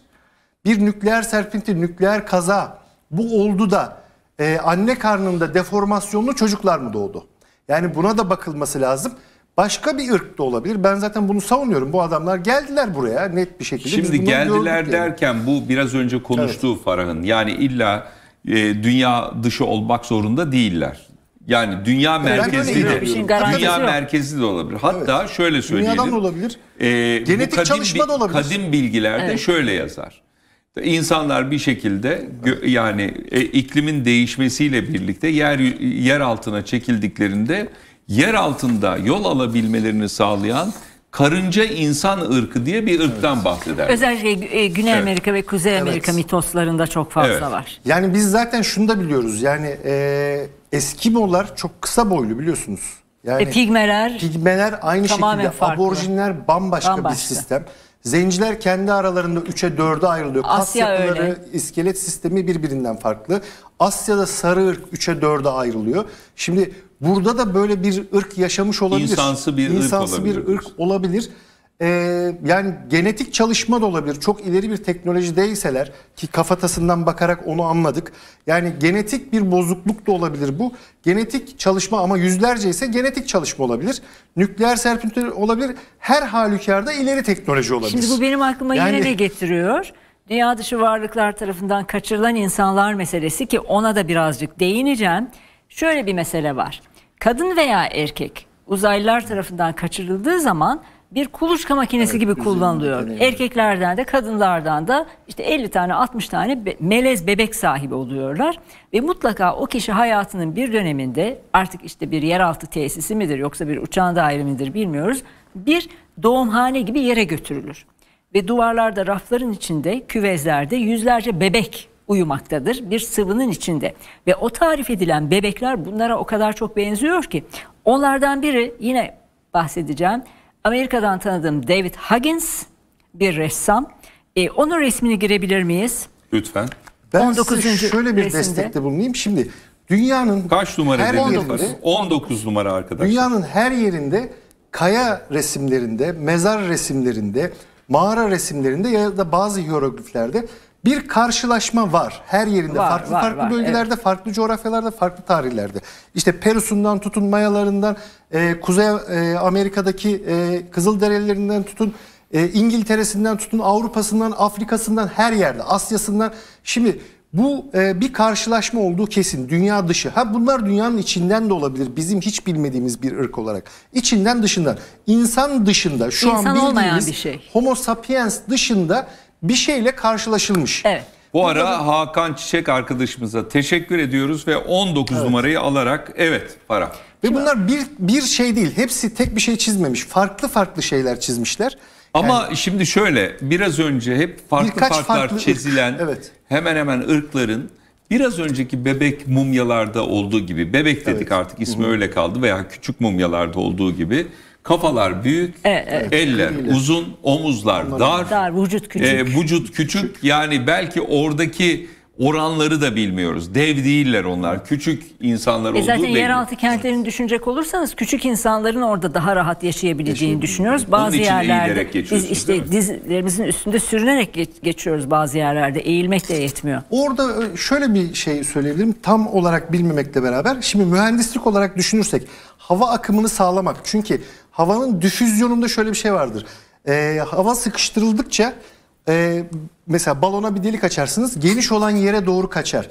Yani küçük olan yerden e, işte bazı gazların kolaylıkla büyük olan yere çıkması için yapılmış bir sistem de olabilir. Küçük insanların kullanıldığı bir sistem de olabilir. Şimdi e, ben şunu yani bu mumyalara da DNA yapılsın muhakkak. Kesinlikle, yani kesinlikle. E, MR'da bir bakılsın şu an Mısır'daki bütün mumyaların hepsinin üzerinden geçtiler. Yani MR çektiler, DNA yaptılar. Kimin kim olduğunu soylarına kadar biliyorlar. Tabii. Yapılıyor. Kimin kim olduğunu soylarına kadar biliyorlar. Burada onlardan 6-7 bin yıl önce yaşamış insanlar var. Evet. Ve bunlara yapılmıyorsa yani burada Turizm e, ve Kültür Bakanlığı'nın harekete geçip bunlara yaptırması lazım. 9 bin yıl önce. Evet, Belki 9... bunlarla ilgili açıklanacak herhangi bir şey. Evet.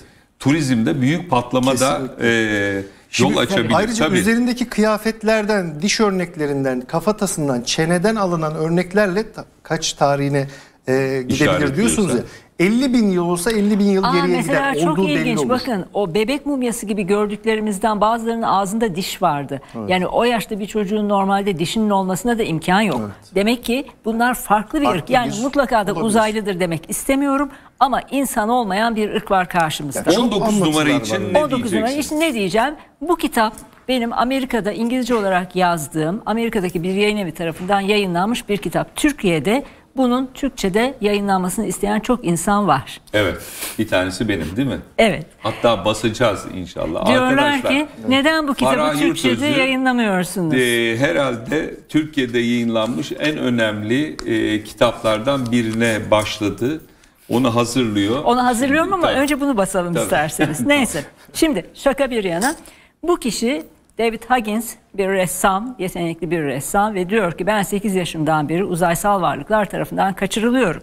Ve onların da resimlerini çekemediğim için tablolarını yapıyorum. Uzun bir hikayesi var. Kitabımda yazmıştım. Şimdi bir konuda çok ilgimizi çekiyor. David Huggins'in anlattıkları. Benden diyor gençliğimde çok sayıda melez bebek sahibi oldu bu ziyaretçiler ve bana onları gösterdiler. İşte o gösterilenler de bizim mumyalara çok benziyor. Ama en önemli açıklamalarından biri diyor ki beni götürdükleri yer bazen bir UFO'ydu bazen de yeraltı mağaralar sistemi içine götürülüyordum ve hemen yandaki 20 numaralı resme geçersek onu çizdiği bir e, tablosu var. Tıpkı da Kapadokya'ya benzeyen bir yer. Neresi olduğunu bilmiyorum diyor. E, yeraltı mağaralarının birbirlerine galerilerle bağlandığı bir yere gidiyorduk. Ve UFO'ların bir otoparka girer çıkar gibi bu mağaraların içine girdiğini ve çıktığını görüyordum diye anlatıyor. Ve bir resim daha var. Şimdi hemen 21. resme geçelim. David Huggins'in yapmış olduğu resimlerin en çok sevdiğim tablosu budur. Neden derseniz bir yeraltı mağarasının içini gösterir, kaçırılma anını anlatır ve der ki üç tip varlık vardı burada. Arkadakiler e, peygamber devesi denilen çekirgeye de benzeyen böceksi varlıklar. En arkadakiler Evet, üzerleri aslında. sarı Evet, kıyafetli sarı olan. olanlar. Onların önünde griler. Bakınız griler dediğimiz varlıklar dünyanın her yerinde aynı şekilde tarif ediliyorlar. Kocaman başları, küçük vücutları var. İşte bizim mumyalara benziyor. Ön tarafta da insan ve uzaylı melezleri. Bunlar diyor hayatımın her anında benimle bu kaçırılmalar sırasında varlardı. Ama asıl burada mesele kaçırılma önemli ama yeraltı mağaralarında uzaysal varlıkların bir tesis kurmuş olması, bir sistem kurmuş olması. Demek e, bu arada David Huggins hiçbir zaman Türkiye'ye gelmedi. Uçağa binmekten korkusu var, binemiyor davet ettiğimiz halde. Ben anlatana kadar Kapadokya diye bir yerden haberi yoktu. Ben işte seminerlerde falan anlattım da bildiler. Ve Kapadokya'yı tarif ediyor sanki. Belki o da kendi yaşadığı bölgede New Jersey'de yaşıyor ama orada da tabii benzer oluşumlar var. Kendi yaşadığı bölgedeki bir yeraltı mağaralar sistemine götürülüyordu belki. Tabii bunlar hep belki bakın ispatlayamıyoruz. Şimdi UFO'ların dünyaya uzaydan değil dünyanın içinden geldiğine yönelik bir iddia var. Ve bununla ilgili bir videomuz var. Onu sizinle paylaşmak istiyorum. Birkaç sene önce Meksika televizyonunda ana haber bülteninde yayınlandı bu haber. Aktif halde olan bir volkanın içine giren devasa puro biçiminde bir UFO'yu gösteriyor. Ve üstelik de haberi ana haber bülteninde Meksika Devlet Televizyonu'nun çok saygın, çok önemli ve deneyimli, kıdemli haber spikerlerinden biri verdi. Bu videoyu görme şansımız var mı şimdi? Verebiliyor muyuz? Meksika televizyonu Evet. diye. 22 numarayı veriyorsunuz. O 22 numara fotoğrafı. Evet fotoğrafı. Bu değil, Evet, hayır bu değil, bu değil, bu değil. Bu en sonda verir, daha sonra Numarayı verir. tam söylersen Bunu iptal bize, edelim. Farah. Bu değil. Ee, Meksika televizyonu diye e, yazmıştım. İsterseniz 22 Meksika volkan UFO diyor JPEG var Evet. orada. Onu bir verelim, onudan bir görelim. Video Meksika Evet vol- geldi. Güzel. Evet şimdi bakınız. Bu e, volkan aktif hale geldiği için sürekli tabii haber ekipleri, kameramanlar çekim yapıyorlardı. Ama böyle bir şey olacağını beklememişlerdi. Ve e, sadece bir doğa olayını e, haberlerde naklen vermek isterlerken volkanın içine giren devasa bir uçan cismi yakaladılar ve bahsettiğim haber spikeri de budur. Ee, Televisa yani Meksika Devlet Televizyonu e, aslında Meksika için şaşırtıcı değil çünkü değil. çok fazla UFO gözlemleri var ve daha doğru hepsini de getirmedim artık başka da var buna benzeyen volkanlar sürekli uzaysal e, ziyaretçilerin veya UFO'ların giriş çıkış yeri olarak kullanılıyor özellikle Güney Amerika'da. Yani acaba gerçekten UFO'larla ilgili net bilgileri UFO'ların kaynağını gökyüzünden değil de yerin altından mı alacağız diye soruyorum. Ve Göbekli Tepe'nin, Karahan Tepe'nin ve tabii ki Aşıklı Höyüğün bulunması sanki bize biraz bunu gösteriyor. Orada da bilim adamları ve fizikçiler konuyla ilgili çok araştırma yaptılar. Tabii bunları artık şimdi e, tercüme etmeyeyim size kısaca geçeyim. Diyorlar ki bu fiziksel bir cisimdir ve normal şartlarda bu kadar devasa bir cismin, uçan bir cismin o volkanın içine girmesine imkan yoktu. Çünkü mesele şudur, e, aktif olmayan bazı başka volkanlar var Meksika'da. Onların da aktif olmadığı zamanlarda onların içinden dışarıya çıkan benzer şekilde pro şeklinde uçan cisimler saptandı. Hem videoya çekildi. Bu çok sık da karşı karşıya çok geldiğimiz sık da karşı Meksika karşı. için çok güncel bir Neredeyse haber. evet. Şimdi neredeyse. şuraya evet. geri dönmek istiyorum. Agartha'dan bahsettik, Şambala'dan bahsettik. Evet. Burada evet. şunu da konuşmamız lazım. Yeraltı kentleri dediğimiz Agartha ve Şambala'nın yani dünyanın merkezinde olan evet. Jules Verne'in de bize işaret ettiği e, kitabında yazmış olduğu Arzım Merkezine Seyahat kitabında yazdığı evet. e, konuya dönmek istiyorum. Konuya. Bununla ilgili e, reklama gitmeden önce 17 numarayla ilgili bir resim e, paylaşmıştık. Onu evet, yine buraya verelim. Sen de bize istersen Tabii kaldığımız yerden devam edelim. Şimdi dedim ki e, Rus asıllı Sen bir de olursan çok daha keyifli oluyor vardı. yorumlarını almak.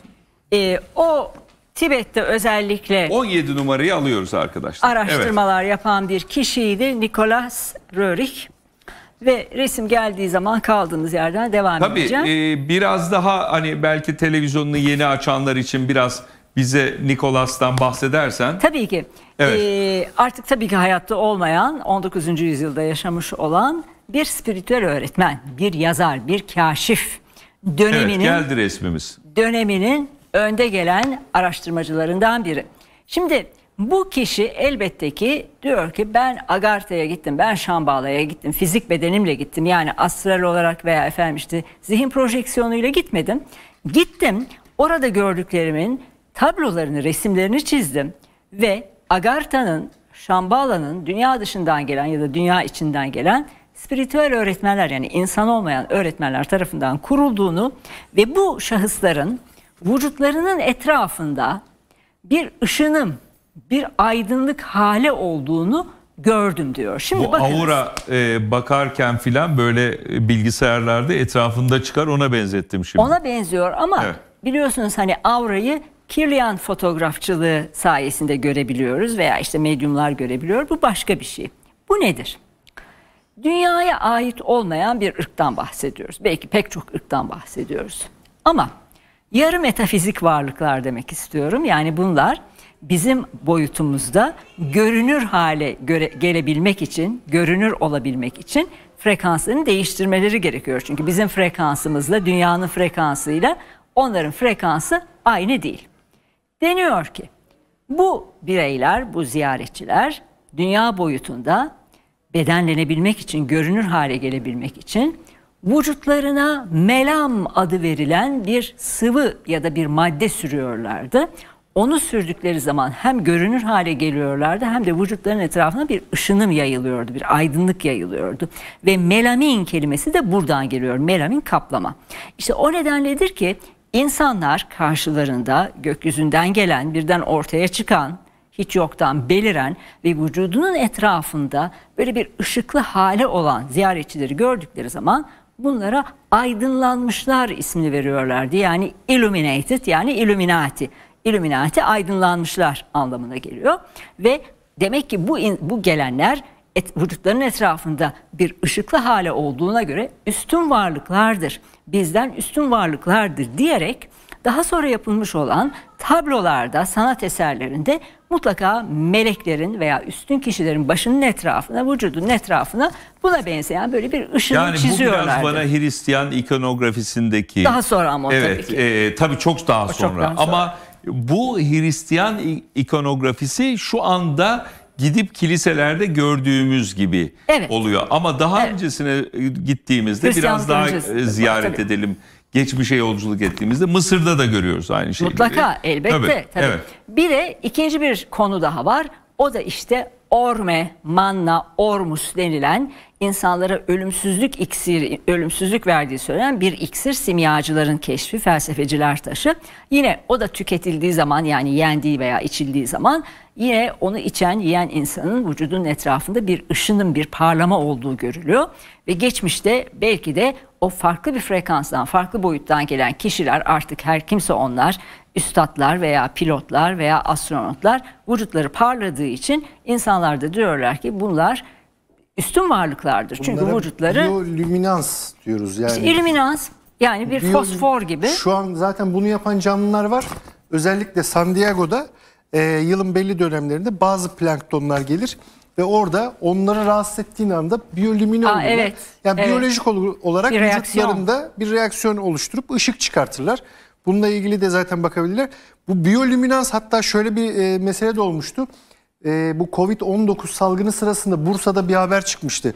E, Covid-19 geçirenlerin mor ışıkta e, tırnaklarına Aa, evet, baktıklarında evet, evet. parlıyordu. Yani insanın da böyle bir özelliğe sahip olabileceği konusunda bu konuda çalışmalar var yani şu an yapılıyor bunlar. Şimdi Ve Agartha, şimdi evet, Agartha'dan bir yere geleceğiz. Çok önemli bir yere götüreceğim sizi.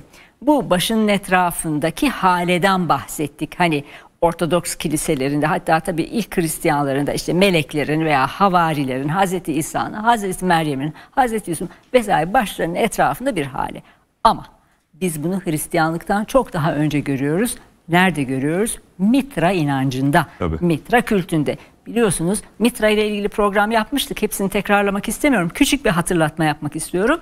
Mitra, Tanrı Mitra ilk önce İran'da doğan Pers kökenli bir inanç biçimi ve güneş tanrısı. Daha sonra Anadolu'dan geçerek Avrupa'ya gidiyor ve güneş tanrısı olduğu için de güneş tanrısı olduğu için de başının etrafında bir ışının var. Yani güneş ışınlarını temsil eden bir ışının var. Bu ama bu, e, hani biraz daha geriye gittiğimizde belki evet. e, Asya'da saymalı taşlarda, yazmalı taşlar, saymalı evet. taşlarda da görüyoruz. E, daha sonra gittiğimiz zaman aborjinlerin yani daha çok e, e, Avustralya'da da eski kaynaklarda da görüyoruz. Hemen hemen e, dünya dışı gelmiş veyahut da aydınlanmış kişilerin hepsinin etrafında bir ışık Işınım haresi var. var.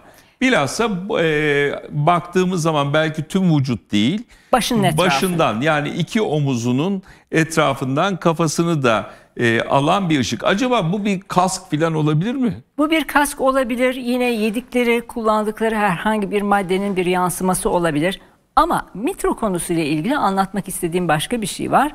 Ee, yine geçtiğimiz aylarda Zerzavan Kalesi'ndeki Mitra Tapınağı'na gitmiştik ve ben de burada demiştim ki burası bana hiç de Mitra Tapınağı gibi görünmedi. Çünkü Avrupa'da incelediğimiz, gördüğümüz, baktığımız Mitra Tapınaklarının belli bir formu var. Birbirine benzeyen özellikleri var. Zerzavan Kalesi'ndeki daha farklı. Ve Derinkuyu yeraltı kentinde artık çıkışa doğru giderken rehberimiz bizi bir yere götürdü. Kendisi de aslında bunun farkında değildi. Dedi ki burası ilk Hristiyanlar tarafından bir okul olarak kullanılmış. Ben de orayı gördüğüm zaman acaba dedim burası bir Mitra tapınağı olabilir mi? Şimdi sizi oraya götürmek istiyorum. Bence olabilir. Bakalım olur mu olamaz mı? O nedenle şimdi ee, kaldığımız yerden 23 numaralı resmi görebilir miyiz? 23 numaralı resme bir bakalım. Şimdi ee, bakınız. Bahsettiğim yer burası ve çok geniş bir alan. Burası Derinkuyu yeraltı kentinin çıkışına doğru yapılmış olan, insan eliyle yapılmış olan, yine kayaların yani doğal ortamın şekillendirilmesiyle yapılmış olan bir mabet. İlk Hristiyanlar elbette ki okul olarak kullanmışlardır ama sanıyorum Mitra inancından devraldılar. Şimdi bakınız, şu forma dikkat edelim. Burası kapatılmış. Bu kapatılan yerin altında Mitra'ya özgü bir kabartma, bir heykel, bir figür olduğunu düşünüyorum. Bakılması lazım. Büyük bir ihtimal boğayı, boğayı kesen evet. bir... Ve burada evet. merdivenler var. Çünkü klasik Mitra tapınaklarında böyle bir sunak, burada Mitra'nın boğayı kurban ederken çizilmiş bir resmi veya heykel kabartması oluyor. Etrafında yine zodyak sembolleri olmuş oluyor. Merdivenlerle yukarıya çıkılıyor. Bakınız merdivenler var. Şurada da bir boşluk var, bir çukur var. Üzeri mazgalla kapatılmış. Evet. Mitra Bu, tapınağının olması ne demek yani? Mitra tapınağının olması ne demek? Burada yani Kapadokya'da da Mitra kültü ve inancı hakimdi. Anadolu'nun pek çok Ama yerinde çok normal gibi. değil mi bu? E, çok normal ama bunun da ortaya çıkartılması lazım. Yani sanki gerçek Mitra tapınağı burasıymış gibi geliyor bana. Yani sen şunu söylüyorsun. Orijinal Mitra Tapınağı burası. burası. Olabilir. Bundan sonra dağıldı mı diyorsun? Evet, evet. olabilir. Şimdi ben şöyle bir bilgi vereyim mi? Tarihi Buyurunuz. bir bilgi. Şimdi e, Kapadokya'dan ilk bahseden e, Anabasis diye bir e, kitap. Yani 10 binlerin dönüşü. Bu milattan önce 401 yılında e, Pers Prensi e, Kiros e, ağabeyine karşı isyan hareketi başlıyor. Evet ve e, şeylerle Yunan e, askerleriyle beraber ona karşı savaşmaya gidiyor.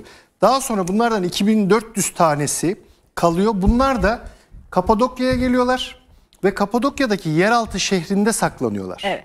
Yani bu da milattan önce 401 yılında ilk yazılı Kapadokya diye ilk yazılı neresi olduğu vesaire e, olayların nerede geçtiği böyle bir e, şey var, kitap var. Aslında yani, başlangıç diyorsunuz. Şimdi yani o yüzden hani şöyle bir şey yapacağız. Alakalı 52 numarayı bir ekrana verin arkadaşlar. Niçin 52 numara?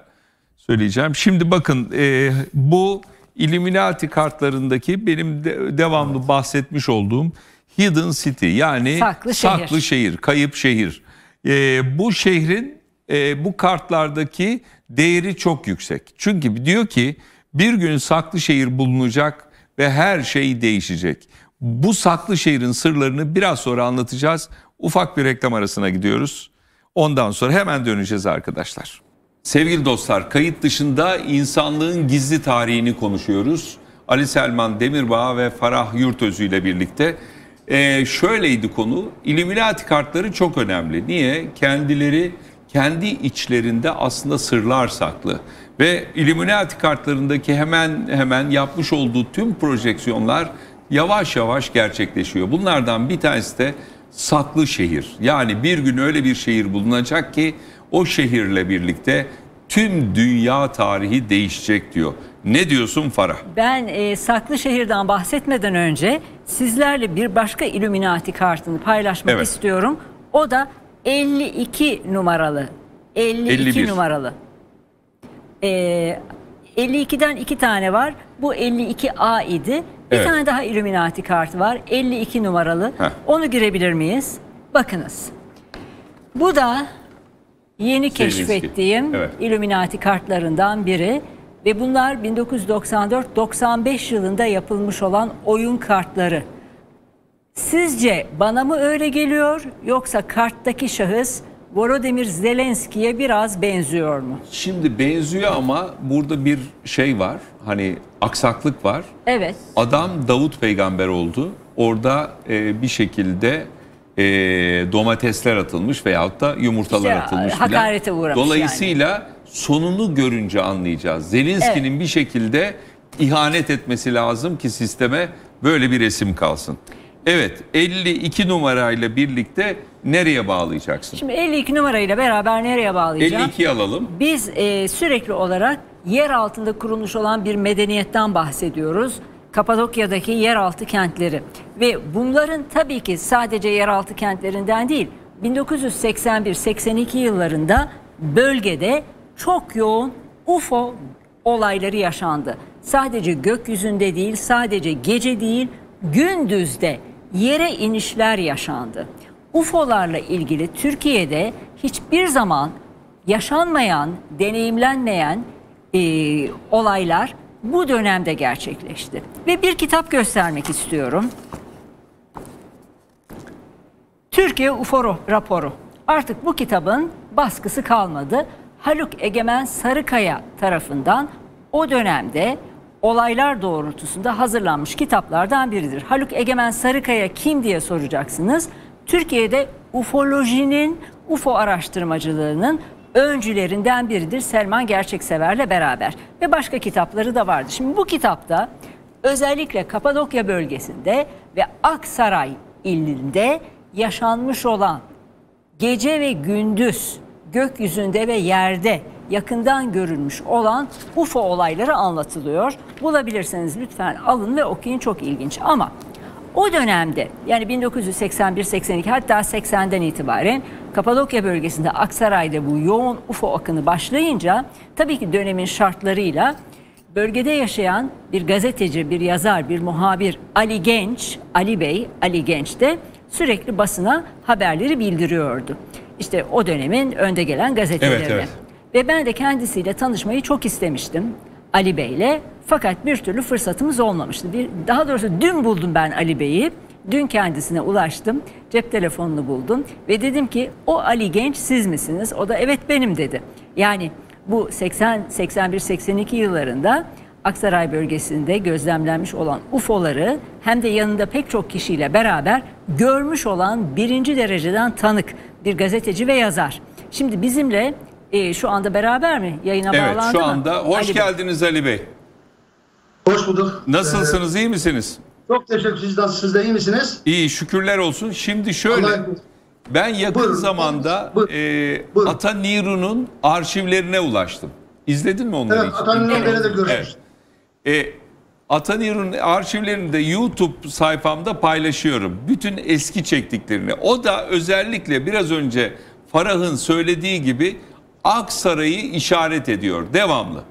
Yani oradan e, röportajlar var ve oradaki olayları anlatıyor. E, siz nasıl bir e, deneyim sahibi oldunuz UFO'larla ilgili? Şimdi Ertan Bey öncelikle size Ali Salman Demirbay'a, Ferah Hanım'a ve sizin şahsınıza tüm seyircilerimize hayırlı akşamlar diliyorum. Hayırlı akşamlar. Ee, tabii ben Atan Yurun Bey'le de tanıştım. Haluk Egemen Sarıkaya'yla tanıştım. Hatta e, Atan Yurun Bey Aksaray'a geldi. Epey bir çekimler falan da yaptık birlikte beraber. E, Haluk Egemen Sarıkaya da bizim de röportajlar yaptı. Belki kitabında da var. E, hatta bende vardı yani. Ben, bende olan kitabında da bahsediyor benden. Şimdi tabii e, öncelikle e, biz Ferah Hanım'la e, başta yaparken eğer izin verirseniz ben bir e, bir konuda anlaşmıştık. Bir şablon çizmiştik. Şablon şöyleydi. Bir dakika yakın bir tanıtım kendimi tanıtacaktım. Eğer uygun görürseniz. Lütfen. Çok kısa bir Aksaray'ı tanıtacağım. Daha sonra meselelere girmek istiyorum. Uygun mudur? Buyurun. Çok teşekkür ederim. Adım Ali Genç. 1958 Aksaray merkeze bağlı Yanyurt köyünde doğdum. Ee, ilkokul 4. sınıfa kadar köyümde okudum. Daha sonra işte ilkokul, ortaokul, liseyi Aksaray'da ve e, üniversitede açık öğretim fakültesinde e, bitirerek ön lisans eğitimi almış oldum. Evliyim. Bir çocuğum var. E, Aksaraylıyım. Aksaray'ı çok seviyorum. Ülkemi çok seviyorum. Vatanımı çok seviyorum. E, benim diyeceğim bu kadar. E, ve bir de izin verirseniz kısaca Aksaray'ı tanıtmak istiyorum. Aksaray, e, Ferah Hanım'ın da sizlerin de çok iyi bildiği gibi e, tarihi milattan önce 9000 yıllarına kadar dayanan bir yer. E, özellikle Aşıklıöyük'te bu kanıtlandı. İşte milattan önce 9000 yıllarında gitti, gitti. Ve burada yapılan araştırmalara göre dünyanın ilk beyin ameliyatının yapıldığı yer Aksaray.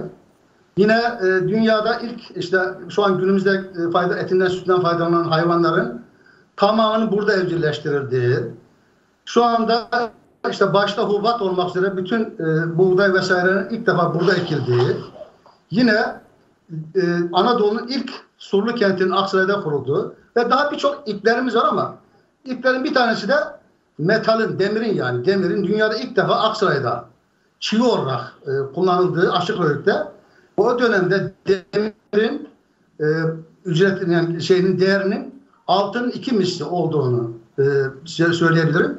Aksaray günümüzde Kapadokya olarak bilinen yerin merkezi durumunda. E, fakat şöyle bir şey var. Tarih yani Aksaray 1989'da vilayet oldu bildiğiniz gibi. Nevşehir 1954'te vilayet oldu. Bize 35 yıl önce vilayet olunca tabii ki e, bir e, vilayet imkanlarıyla daha çok şekilde çalışarak e, Nevşehir, Kapadokya bölgesi de şey yapıldı ama aslında olay şöyle. Çok kısaca söylüyorum. Aksaray'ın eski ismi Garsura. Yani e, Sultan II. Sultan II. E, Sultan Rıcas'tan önce Aksaray'ı ilk defa e, A'dan Z'ye Arkeales, Kapadokya Kralı imar ediyor ve Garsura olan ismini değiştirerek Aksaray Arkeales yapıyor ve kendisine payitaht yapıyor. Bütün şu anda elimde birkaç tane tarihi vesika da var. Onlardan ben bir şey de çıkarttım. E, bu e, Kapadokya'da sırlar çizilirken Ankara'dan başlatılıyor. Şu anda işte Aksaray, Nevşehir'in tamamı, Niğde, Kırşehir ve e, Kayseri'de bir bölümü dahil ediliyor. Yani Aksaray Kapadokya'dır. E, bu şekilde bilmesi gerekiyor. Şu anda ekranda görüyorsunuz. Dünyanın ilk beyin ameliyatı ve diğerlerinde tabii zaman geldikçe e, sorarsanız sorularınızı cevap verin. Evet şimdi şöyle e, isterseniz 80'li yıllara gidelim. Böyle bir zaman yolculuğu tamam, yapalım. Hemen, ee, tamam, o zaman şöyle, efendim, hemen nasıl bir tecrübe yaşadınız? Nasıl bir gözlem yaptınız? Şimdi Ertan Bey şöyle, e, tabii ben 76 yılında gazeteciliğe başladım. Aslında ben gazete ilkokulda ama yani para kazanma, e, profesyonelce gazetecilik benim 76'dır. Tabii biz mesleğimizi sürdürürken ben o dönemde Günaydın Gazetesi'nin e, ilk temsil Ses gidip geliyor herhalde. Evet.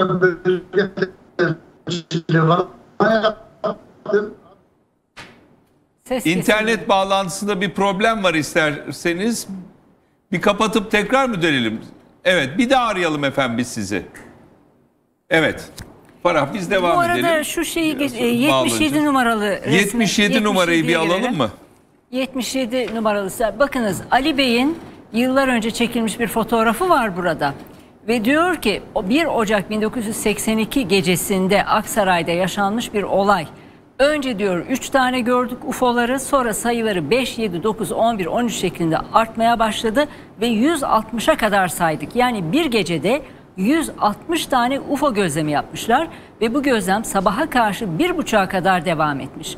Ve her gece Ali Bey ve bölgede yaşayan öğretmenler, köylüler, memurlar hep birlikte toplanıp açığa, e, açık bir yere çıkıp UFO'ları gözlemliyorlardı. Böyle de bir olay var. Ali Bey biraz e, konudan bahsettik siz yokken Buyurun. bağlantı koptu. E, evet. Bir bahseder misiniz o günleri e, nasıl yaşadınız? Mesela 160'a kadar saydığınız... Yani normal tabii insanlar e, gökyüzünde olağanüstü yani olağanüstü değişik e, objeler görünce e, işte bu işler takibe başlandı. Ve özellikle e, sonra da biz öyle bir alışkanlık oldu ki mesela elektrik voltajı düşüyor. Biz onların geldiğini, daha doğrusu UFO'ların geldiğini ya gök, gökyüzünde görebileceğimizi e, anlıyorduk ve dışarı çıktığımızda gerçekten de belli yerlerde işte değişik e, ışıklar saçan objeler görüyorduk. Mesela nasıl Mesela, bu objeler e, onu söyleyebilir tabii, misiniz? Hanımefendi şöyle yani benim en yakından gördüğümde tabii sonra sırasıyla geliriz. Bizim gördüğümüz objeler şu. Yani bildiğimiz e, yıldızlar ama yıldızlardan daha farklı hareket eden ve etrafına bir ışıklar saçan hatta işte bizim e, senin ilk sohbetimizde de anlatmıştım. Mesela bir tanesini anlatayım. Daha sonra sırayla gideceğim. E, benim çok sevdiğim bir kardeşim vardı. Gazeteci Çapan Tekeli arkadaşım vefat etti. Bu arkadaşım da bir gün şu anda bizim e, merkez PTT binamız var. E, Telekom binası PTT yan yana. Orada işte böyle sırtımızı biraz onun altında bir şu an ziraat bankası olan yerde sırtımızı verdiğimizde karşımızda dört tane bir e, normal şeyden farklı, yıldızlardan farklı ışık gördük ve şöyle bir şey şahit olduk. O ışıklar arasında bir e, kare düşünün. Yani ışıktan oradan bir ışık çıktı. Bir kapı açıldı. Resmen bir kapı açıldı. Oradan bir ışık hüzmesi çıktı. Diğerine ulaştı. Diğerinin aşağıdakine, aşağıdakine, sağdakine sadece tek ilk çıkan yere ulaştı. Orada bir kare oluştu. Yani ışıktan oluşan... Bir şekil mi oluştu? Işık, e, ışık çerçevesi oluştu. Çerçevesi evet. oluştu. Çerçevesi oluştu. Mesela bir tanesi ilginç olan buydu. Peki yani hiç bu varlık Buyur. yani bu artık e, uçan daireler deyin veyahut da dünya dışı mıydı yoksa dünyanın merkezinden mi geliyordu? Böyle Şimdi bir şey hissettiniz şunu mi? Şunu söyleyeyim. İşte biraz önce sizin e, saat 20.30'da programı açarken de Farah Hanım da bir şey söyledi. İşte e, neden e, bu şeylere değişik şekillere e, şey deniyor neden e, peri bacası falan söylüyor dendiğinde orada bir şey söylemişti mesela ben de o anda aklıma bir şey geldi. E, tam programda olmadığımı söyleyemedim. bizim Ihara Vadisi'nin ilk benim gazetecilik başladığım yıllarında bir levhası var. Ihlara Vadisi diye yazıyor. Hatta Ihlara demiyor. Pelestreme levvale levvale de Pelestrema yani e, Belisırma Vadisi. Sonra da Ihlara vesaire oldu. E, orada o levhanın arkasında bir şey dikkatimi çekti. Hatta belki bende fotoğrafı da vardır ama şu anda e, bulamam. Oraya Melekler Vadisi deniyordu. Hmm. Yani daha önce Ihlara Vadisi ismi Melekler Vadisi. Ben orada anladım. Yani şimdi o tür insan yani o varlıklar başka bir e, uzaydan uzaydan mı geliyorlar? Veya uzaydaki herhangi bir gezegenden mi? Yahut da galaksiden mi geliyorlar? İşte e, dünyadaki yer altında herhangi bir yerden mi geliyorlar? Tabi bu konuda benim bilgim yok. Ben bir gazeteciyim. Ben, Peki ben, kaç kişi o, gözlemlediniz Ali Bey? Şimdi Ertan Bey kaç kişi değil binlerce kişi desem yani abartmış olma. Mesela bir tanesini yine arz edeyim. Şu anda tam tarihini hatırlamıyorum. Sonra tarihli olan yerleri size anlatacağım.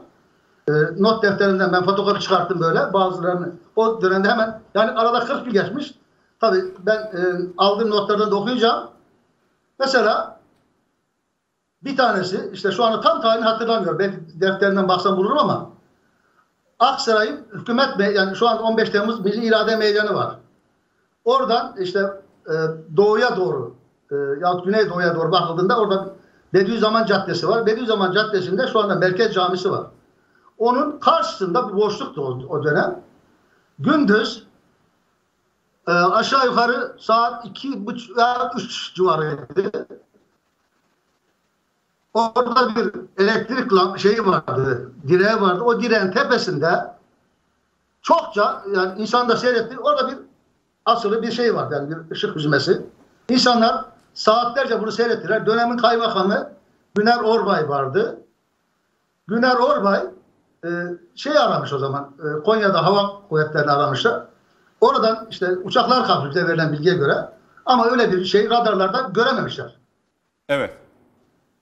Sizin yani, e, pardon. Evet. Mesela 1982'nin gündüz gündüz binlerce aksarayı seyrettim.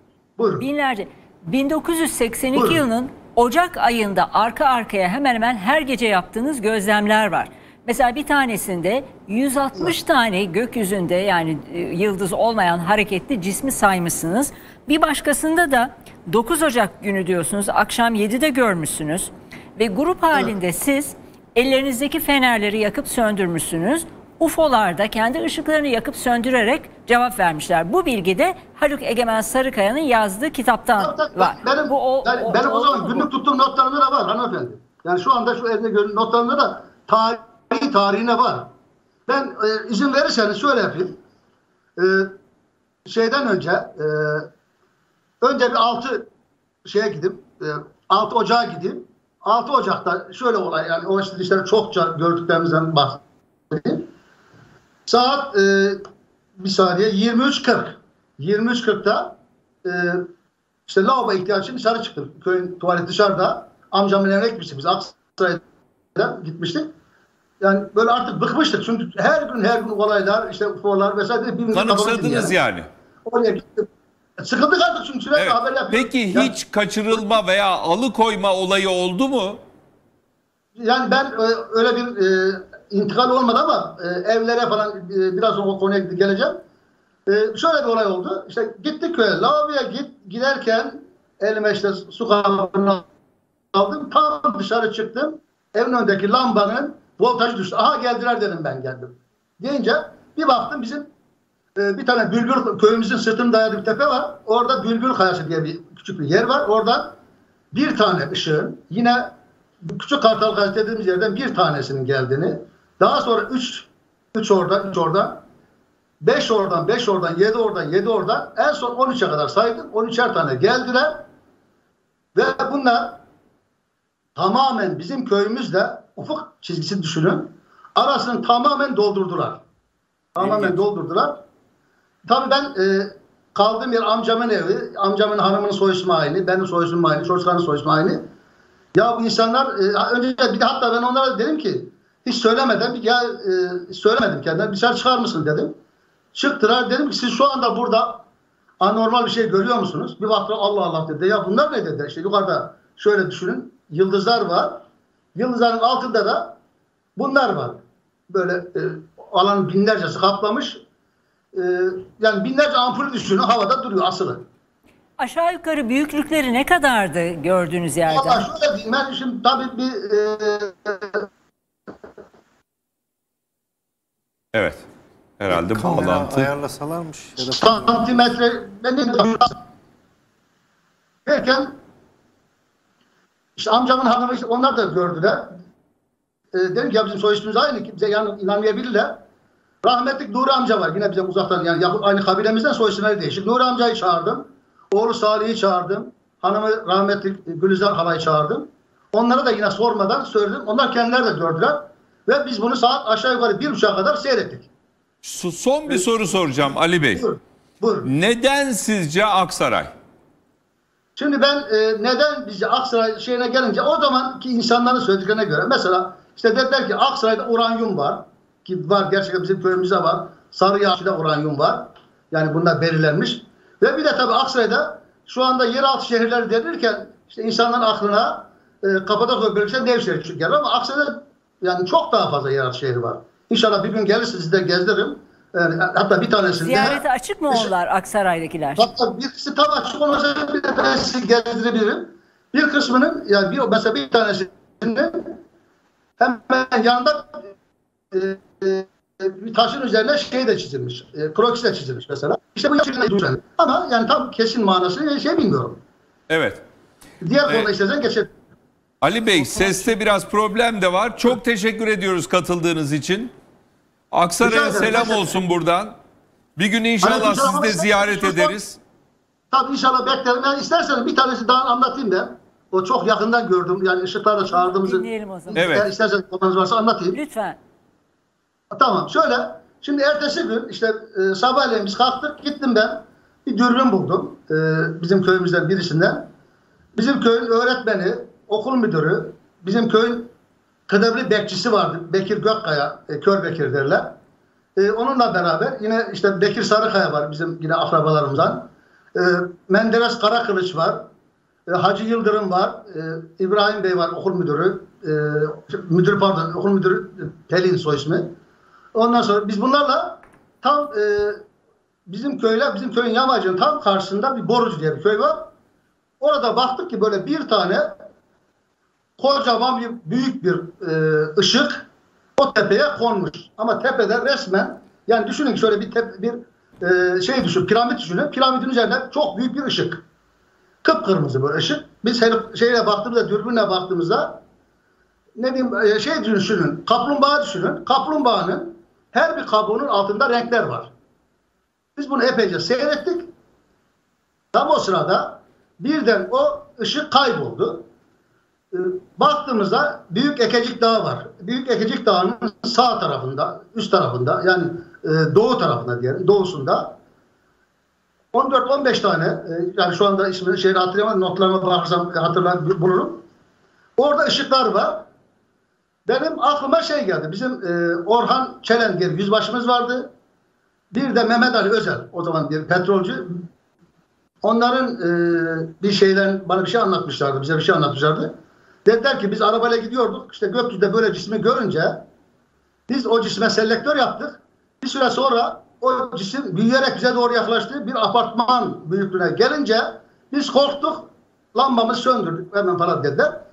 Dedim ki bizim o e, isimlerini saydığım kişilerle beraber gelin dedim biz de böyle bir şey yapalım. El fenerlerimizle biz oraya selektör yaptık. Sürekli yaptık yaptık. Ve o cisimler bize doğru gelmeye başladı. Gelmeye başlayınca tabii epeyce yaklaşınca bizim insanlar korktular. Herkes evine gitti. Yani bunu da bizzat yaşadım. Daha birçok da meseleler var ama yani e, biz o dönemde çokça şeyler yaşadık. E, gelirseniz e, Aksaray'a veya da oraya gelirsek orada anlatırız. Olmamış demek. O gün için bu kadar. Evet. Ali Bey çok teşekkür ediyoruz katkılarınızdan teşekkür dolayı.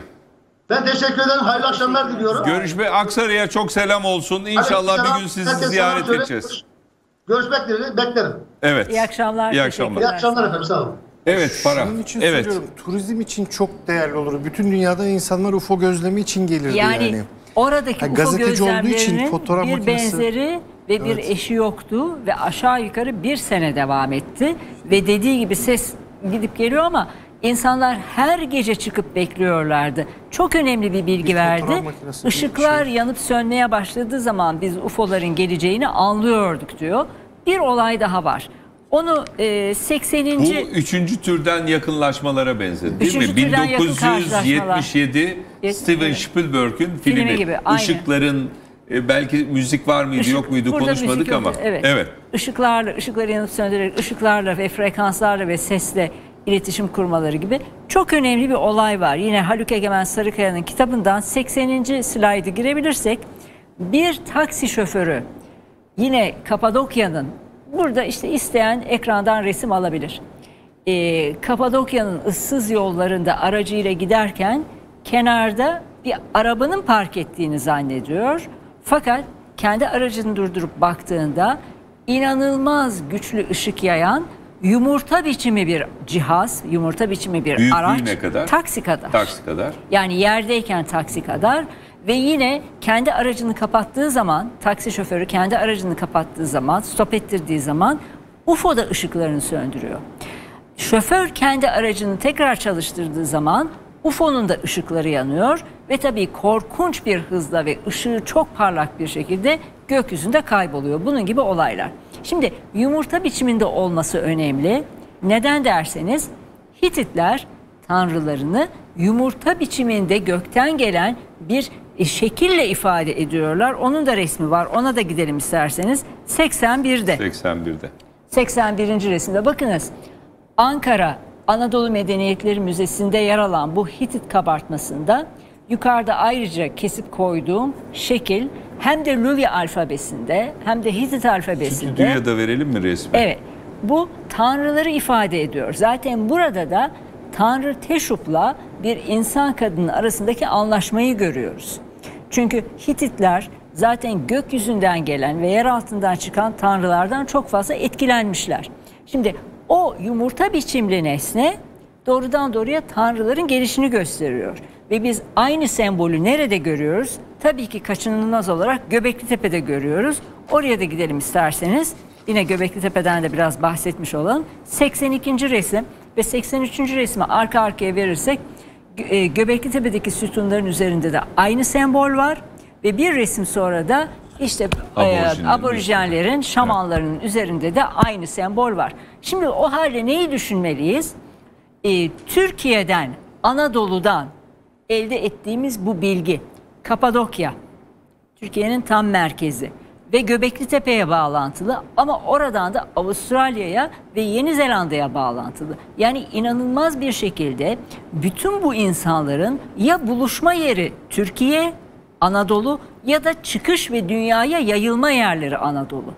Ne yapıyorlar? Hiçbir yazılı dil kullanmadan sembollerle iletişimi ve bağlantıyı sağlıyorlar. Peki bütün bunların UFO'larla ilgisi olabilir mi? Olabilir. Peki gördüğümüz o mumyalar insanlara değil de uzaysal varlıklara mı aitti? Olabilir. Ve bakınız Ihlara Vadisi'ndeki kiliselerden çıktı bu şeyler. Mumyalar yüzlercesi çoğu yok edildi. Acaba diyorum UFO'ların ısrarla oraya gelmesinin ve hatta iniş yapmasının sebeplerinden biri onlar olabilir miydi? Yani kendilerine ait bir şeyi almaya mı gelmişlerdi? Tabii ki sadece bir soru işaretidir. Bunun cevabını bugün de veremiyoruz. Ama neden özellikle Kapadokya'da, Aksaray'da, Nevşehir'de o bölgede yani yeraltı kentlerinin olduğu yerlerde neden UFO gözlemleri çok fazla?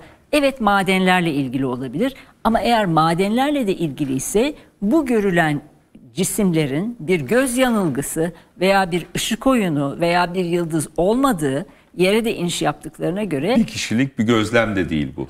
Bütün şehir kişi, hemen bütün hemen şehir. değil mi? Bir de niye bıraktılar onu da sormak lazım. Yani şu anki teknolojiyle kameralar her yerde yani sadece mobeseler çekse yeter. Yalnız yani, bir de şu var ne var biliyor musunuz? Çok iyi kameralarla bile hakikaten gerçek UFO'ların resmini çekemiyorsunuz. Bugün internette gördüğünüz UFO resimlerinin çoğu sahte. Gerçek bir UFO'nun, şey gerçek bir ama, göksel cismin resmini insanlar çekmek görmüyor en azından 1982'deki gibi.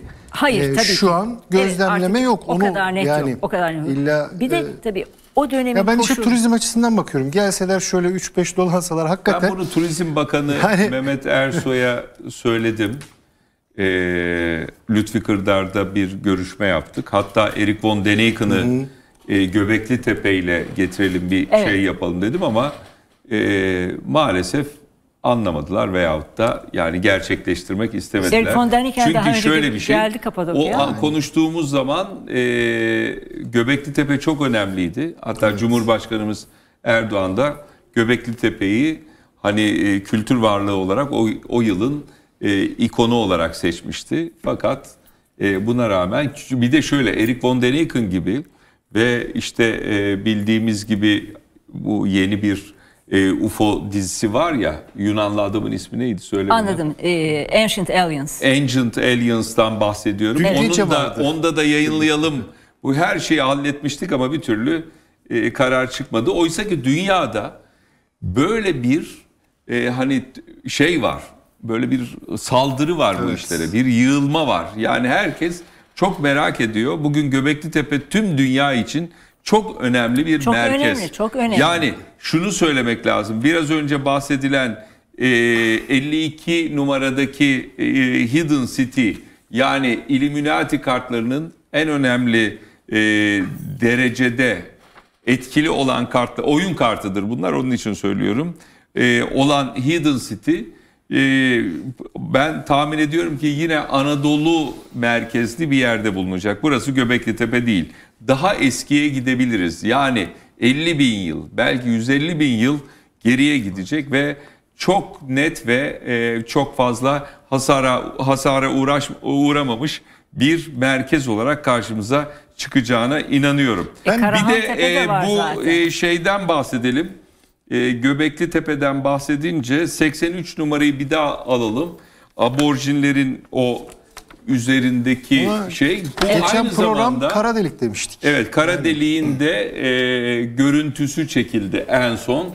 Kara deliğin, deliğin görüntüsü e, bu aborjin yerlisinin üzerindeki ikonografiyle hemen hemen aynı görüntünün bir yansıması Şimdi, gibi gözüküyor. Derin evet. Kuyu ile Göbektepe arasında şöyle de bir bağ kurulabilir. Eğer tarihler birbirine uyuyorsa e, yani biri 10 bin yıl, biri 12 bin yıl hani 2000 yıllık bir süreç. Göbekli Tepe'de insanlar neden korktular da o yapıları gömdüler? İnsan eliyle gömüldüğü söyleniyor. Bu bir e, yani diyelim ki orası tapınakları ya da kutsal yerleri ya da çok önem verdikleri bir haç merkezi. Onu toprağın altına gömdüler. Kendileri de gitti kendi e, Aksaray bölgesi, Nevşehir bölgesi vesaire o bölgedeki yeraltı şehirlerine mi çekildiler? Bu da sorulabilir.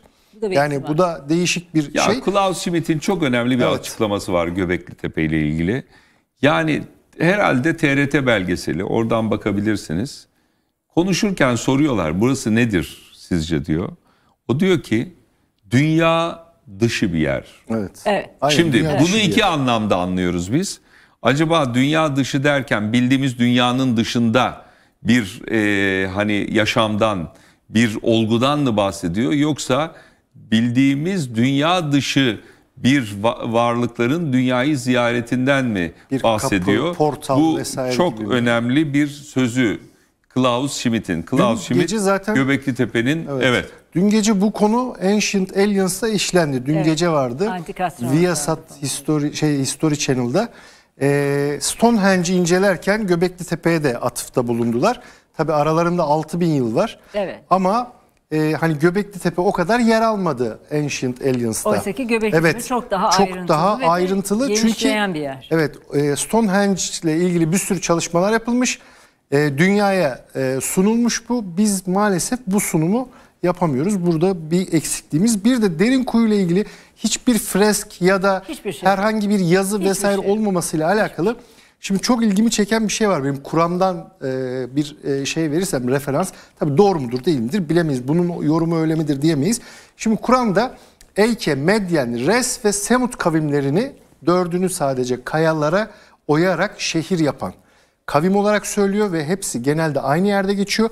Yalnızca Semut kavmiyle ilgili onları bir ses ve yıldırım yakaladı diyor. Yani onunla kuru otlar gibi oldukları yerde kaldılar, kırıldılar, döküldüler. Aynen bu ifade var ve sanki orada hiç oturmamışlardı diyor. Hani sanki bütün izlerini biz sildik diyor. İşte Hud suresi 68.de. Şimdi Semut kavmi olabilir mi? Çünkü bir de Semut'ta şöyle bir şey var. Kayaların arasından bir deve ve yavrusu çıkıyor. Evet, kesilmeyecek yani bu, deniyor. Evet, falan. kesilmeyecek deniyor. Fakat hani yeraltı şehrinden tabi bu derin kuyu olmayabilir. Başka bir yerde olabilir. Yani acaba mı diye. Şimdi bakınız bu At ve Semut kavmiyle ilgili olarak şunu düşünüyorum. Ee, Atlantis ve Mu. belki Mu bağlantılı. Evet. Yani Semud Mu mudur acaba? Ad da Atlantis'le bağlantılı Mu. olabilir mi? Şöyle bir bilgi var.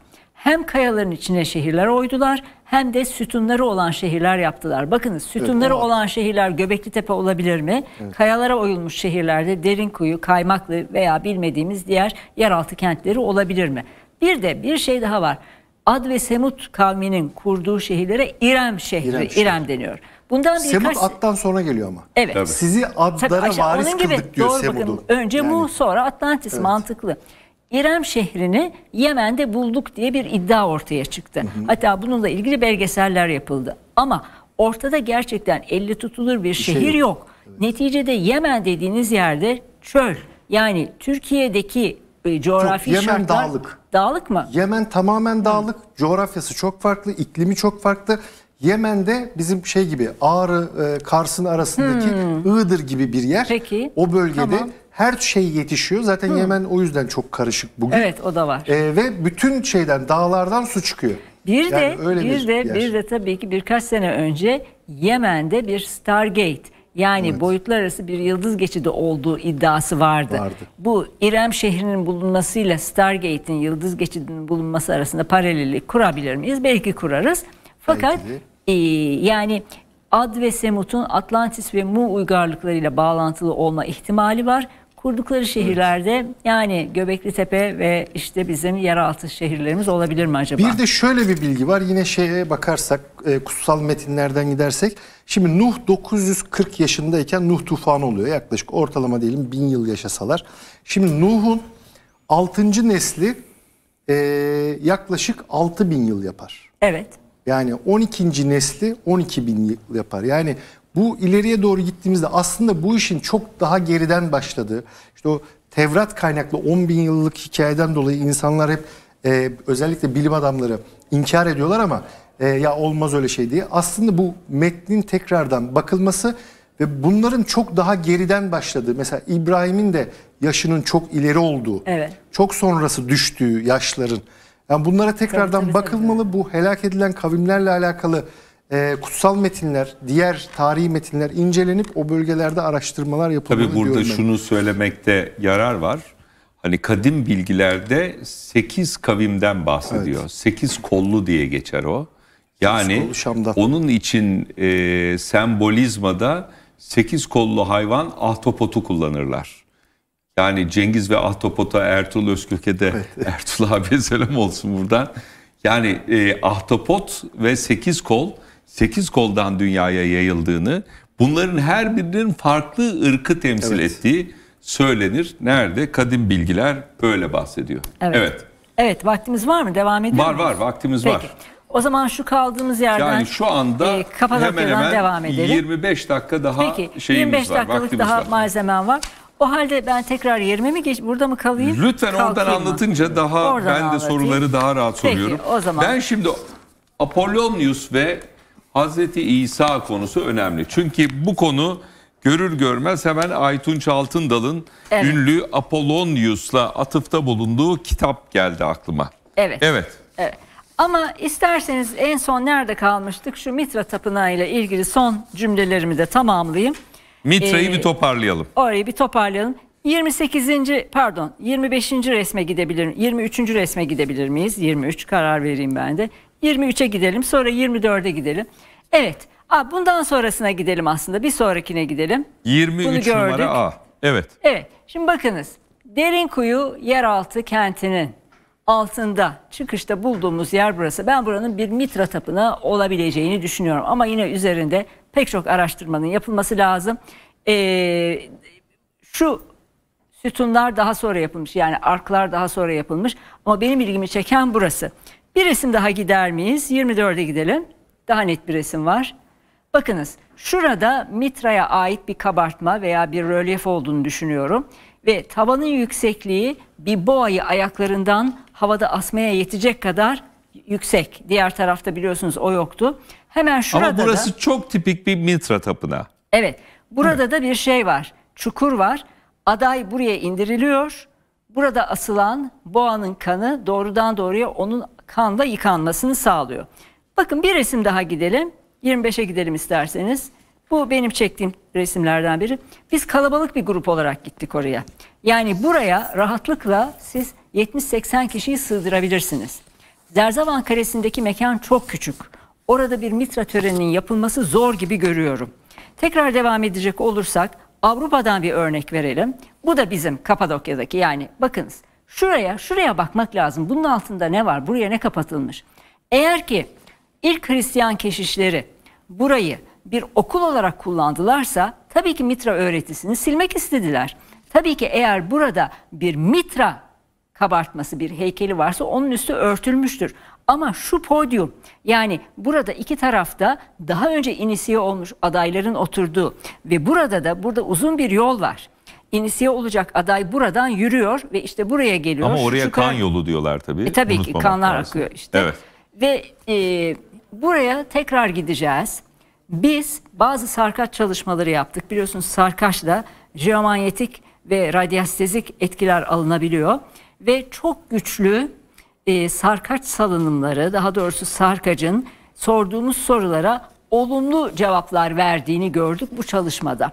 O nedenle buranın bir mitra tapınağı olabileceğini daha önce hiç kimse fark etmedi. Rehberimiz bize bir Hristiyan okulu olarak gösterdi ama ben hissettim buranın başka bir şey olabileceğini. Neden? Ee, bir resim daha var. 30'a gidebilir miyiz? 30. resme gidebilir miyiz? Bakınız bu bir canlandırma bir belgeselden. Fakat aynı derin kuyudaki yapıya çok benziyor. Şöyle bir yol iki tarafta diğer adayların veya rahiplerin oturduğu yer ve merdivenlerle çıkılan bir sunak. Ama bu Roma. E Büyük tabii ama ihtimal. daha Çünkü sonra şey çok daha gelişmiş daha hali. gelişmiş. Tabii. Evet. Ama merdivenlerle çıkılıyor ve burada da Mitra'ya ait bir resmin olması lazım. Bakalım var mı yok mu? Şimdi geçen e, Ama program... oradan o hani eğer o kabartma yani Mitra'nın e, boğayı adamasıyla ilgili kabartma oradan bir şekilde söküldüyse onun izlerinden onu çözme şansı kolay. Doğru yerdesin. İyi bir keşiftir yani. Belki bir fresk var orada. Evet. Belki bir kabartma var ama örtülmüş. Tekrar e, dönelim oraya. Tekrar benim o resimlerden birine dönmek istiyorum. Kaç numara Size söylersen. söyleyeceğim. E, 27'ye gidelim. 27'ye gidelim. 27. resmi. Evet. Bakınız şunların sonradan yapılmış olduğunu düşünüyoruz. Yani şuranın çok daha eski ve orijinal. Tabii ki buraları çok daha eski ve orijinal. Buranın daha sonradan yapılmış olduğunu düşünüyoruz. İlk Hristiyanlar tarafından yapılmış olabilir. Biz buradan içeriye girdik. Burada başka odalar var. Ve o başka odaların içinde bir tane daha o kocaman yuvarlak taşlardan var. O kapatılmış. Şimdi demek ki bütün bunlar birbirleriyle bağlantılı. Bu tarafta başka odalar var ama giriş buradan. Bence buranın da incelenmesi lazım. Gerçekten burada bir mitra tapımı var mıydı yok mu? Yani aslında şöyle diyorsun, tarihe not düşüyorsun. Ben diyorsun bu gözlemlerimde Mitra tapınağı olduğunu tahmin ediyorum buranın. Düşünüyorum. Bunun incelenmesi lazım. Evet. Çünkü eğer burası bir Mitra tapınağı olur olduğunu tespit edersek yani dünyadan çok fazla turist gelip burayı görmek isteyebilir. Ya, Çünkü şöyle yani. bir şey var şu anda en önemli hani e, dini yapılardan birisi Mitra tapınakları. Kim için? Kadim bilgileri koşturan veyahut da peşinden koşan insanlar evet. için. Neden? Çünkü Roma'yı şekillendiren aslında bir dinden bahsediyoruz. Ne kökenli? E, Mezopotamya kökenli Pers bir kökenli. dinden evet. bahsediyoruz. Ee, evet. Bir de şeye geçelim. Ee, 33. resme bakalım. Bakınız burada 33. resimde ne göreceğiz şimdi? Mitra kayadan doğuyor. Mitolojiye göre, inanca göre Mitra kayanın içinden yetişkin bir insan olarak, bir bebek olarak değil, yetişkin bir insan olarak doğuyor ve kayadan, taşın içinden doğduğu için de zaten bütün Mitra tapınakları kayaların içindeki tapınaklarda kuruluyor. Yani mesela ayrıca bir bina yapılmıyor Mitra için. Bu figürden Bak, gidecek olursak etrafında neler var? Tabii ki Göbekli Zodiac, Tepe'yi Zodiac. çağrıştırdı bana. Pek fazla değil, değil aslında. Mi? Zodiac yani bildiğimiz 12 burç var. Ama Göbekli Tepe'deki e, figürlerin gelişmiş hali çok gibi daha gelişmiş hali artık. Evet. Şimdi e, sembolizm çok önemli. E, Mitra inisiyasyonunda 12 hafta süren Bakınız 12 çok önemli ve daha sonra biz bu gezimizde Hacı Bektaş dergahına da gittik. Bakın Hacı Bektaş ve genel olarak tasavvuf öğretisinde Mitra öğretisinin çok fazla etkisi var. Biliyorsunuz Hacı Bektaş dergahının 12 köşeli bir teslim taşı var. Yani dergaha girenler artık öğrenci olanlar boyunlarına o 12 köşeli teslim taşını takıyorlar. 12 burçla bağlantılı, 12 aylı, 12 imamla bağlantılı. Burada da 12 sembolizmi tekrar tekrar karşımıza çıkıyor. Ve Hacı Bektaş dergahında şu anda müze olmasına rağmen oturma biçimi 12 tane post var. Yani o e, toplantıya veya işte derse katılan şahısların rütbelerine göre 12 postun üzerine Ama oturuyorlar. Ama bu Göbekli Tepe'ye de bir gönderim değil mi? 12 hepsi sayısı birbirine, deyince. Hepsi evet. birbirine bağlı. Hepsi aynı birbirine taşlar, bağlı. aynı Ama sayılar. Dergahın oturuş biçimi de bu tapınaklardaki sisteme çok benziyor. Bir şey Mısır'daki daha var. 12 tanrı. Tabii. Şimdi evet. hani dedik ya ortada bir podyum var. İnisiye olacak aday o podyumdan yürüyor, sunağa kadar geliyor. Yürüyüş yolunda e, Mitra tapınaklarında yerde 7 adet işaret var, sembol var. Onları görelim isterseniz. 35 ve 36. resimlerde onları görebileceğiz. Şimdi bakınız. Bunlar Avrupa'daki Mitra tapınaklarından bulunmuş yer mozaikleri. Her biri bir gök cismiyle, bir gezegenle bağlantılı. Bu sonuncu resmi gösterdiniz. Bir öncekine gidelim aslında. Şeye gidelim. Dört tane resmin olduğu bir e, mozaikli resim var. 36 numara arkadaş. Evet. Dörtlüyü görelim önce. Bu sonuncusu çünkü. Evet. Şimdi bakınız Merkür karga haberi getiriyor. Yani inisiye olacak adaya müjdeyi getiriyor. Sen diyor artık bizim grubumuza gireceksin. Bu öğretiyi alacaksın. Sonrasında Venüs e, aşaması var. Burada ne oluyor? Gelin oluyor, evleniyor Mitra adayı. Ne ile evleniyor? Mitra ile evleniyor. Bu rahiplerin ve rahibelerin aslında hiçbir zaman gerçek hayatlarında evlenmeyip Hz. İsa ile veya inançlarıyla evlenmeleri gibi bir durum. Sonrasında Mars aşamasında asker oluyor.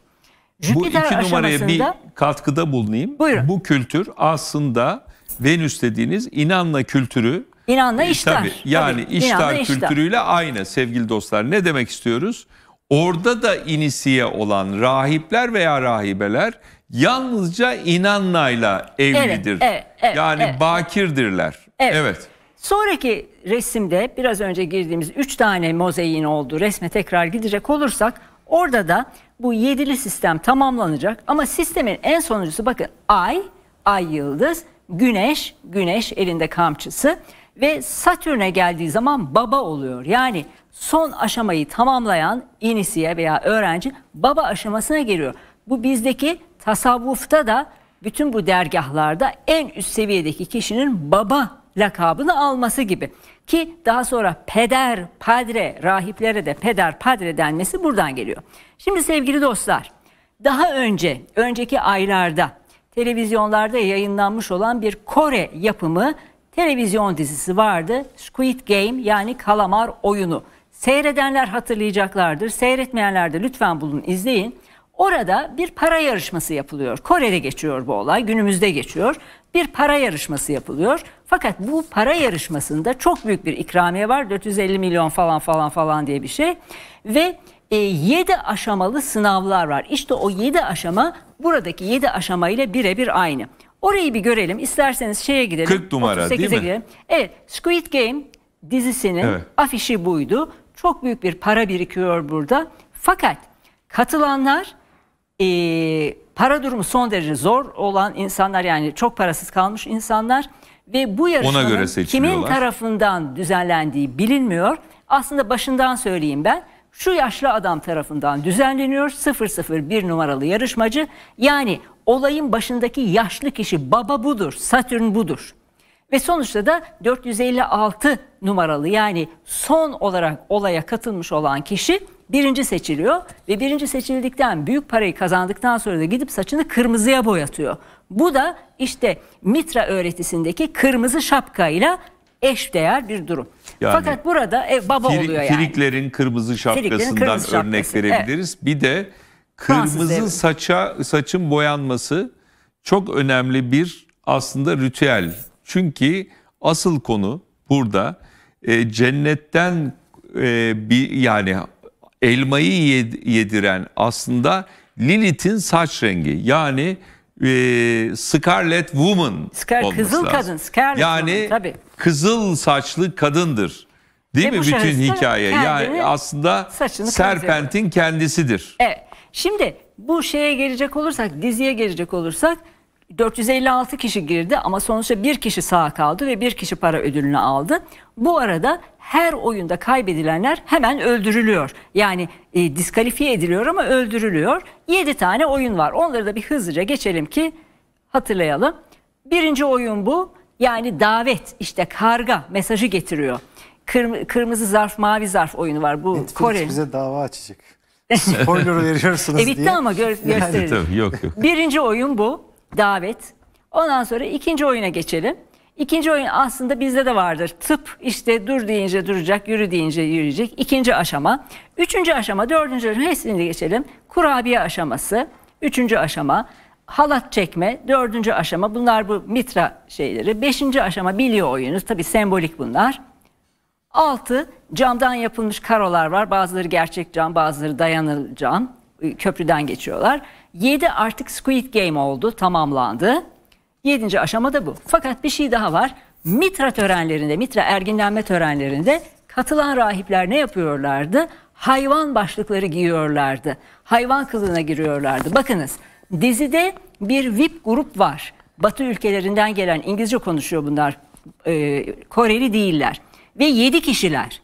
Bu yedi kişi de hayvan maskeleri takarak son bölümde ortaya çıkıyorlar. Yüzlerini saklıyorlar. Çünkü Mitra öğretisindeki en önemli faktörlerden biri katılanların da rahiplerin de maske giymesi, yüzlerini saklaması. Hatta Anadolu'da bile mitra maskeleri bulundu bu şekilde. Şimdi bunlar da son bölümde maskeleriyle hayvan olarak ortaya çıkıyorlar. E, bir resim daha var ona da gidelim. Bu da aslında e, dizide kullanılan maskelerin modelleri. Fakat bizi ilgilendiren şunlar. Hayvan maskeleri ve bu hayvanların da yine mitra öğretisiyle bağlantısı var. Bir şey daha var mitra öğretisinde. Bütün bu toplantılarda ve işte bu tapınaklarda yapılan ritüellerde rahipler hayvan gibi davranıyorlar. Yani affedersiniz hayvan hareketlerini taklit ediyorlar. Bir sonraki Kılığına resme gidelim. girdiği hayvan. Evet. evet. Bakınız bir sonraki resimde son bölümden dizinin son bölümünden buradaki hizmetkarlar hayvan kılığına girmişler ve VIP kişilere hizmet ederken hayvan gibi davranıyorlar. İşte orman hayvanı falan gibi.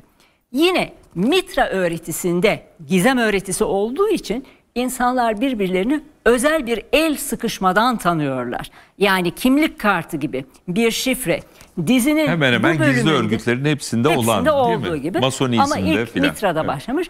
Dizinin son bölümündeki sahnelerden birine gidersek bir sonraki resimde özel bir el sıkışma biçimini görüyoruz. Burada da o yatırım yapan VIP adamlardan biri işte genç garsonlardan biriyle konuşmaya çalışıyor ve onun elini özel bir şekilde sıkıyor ve biz bunu daha sonra Anadolu medeniyetlerinde görüyoruz bir sonraki heykelde. Bakınız e, Nemrut Dağı'na giderken orada kocaman bir anıt var. E, tanrılarla kralların el sıkışması bu daha sonra Orion'la filan şeklinde sık sık tekrarlanıyor. Bu da Mitradates, Kral Mitradates Mitra öğretisini kabul ettiği için adını da Mitradates yapmış. Bu el sıkışma biçimini de müzelerde sık sık görürsünüz sevgili dostlar. Evet, evet son 10 dakikamız arkadaşlar. Hadi bakalım. Evet. Biraz nefes alsın. anlattık. Evet.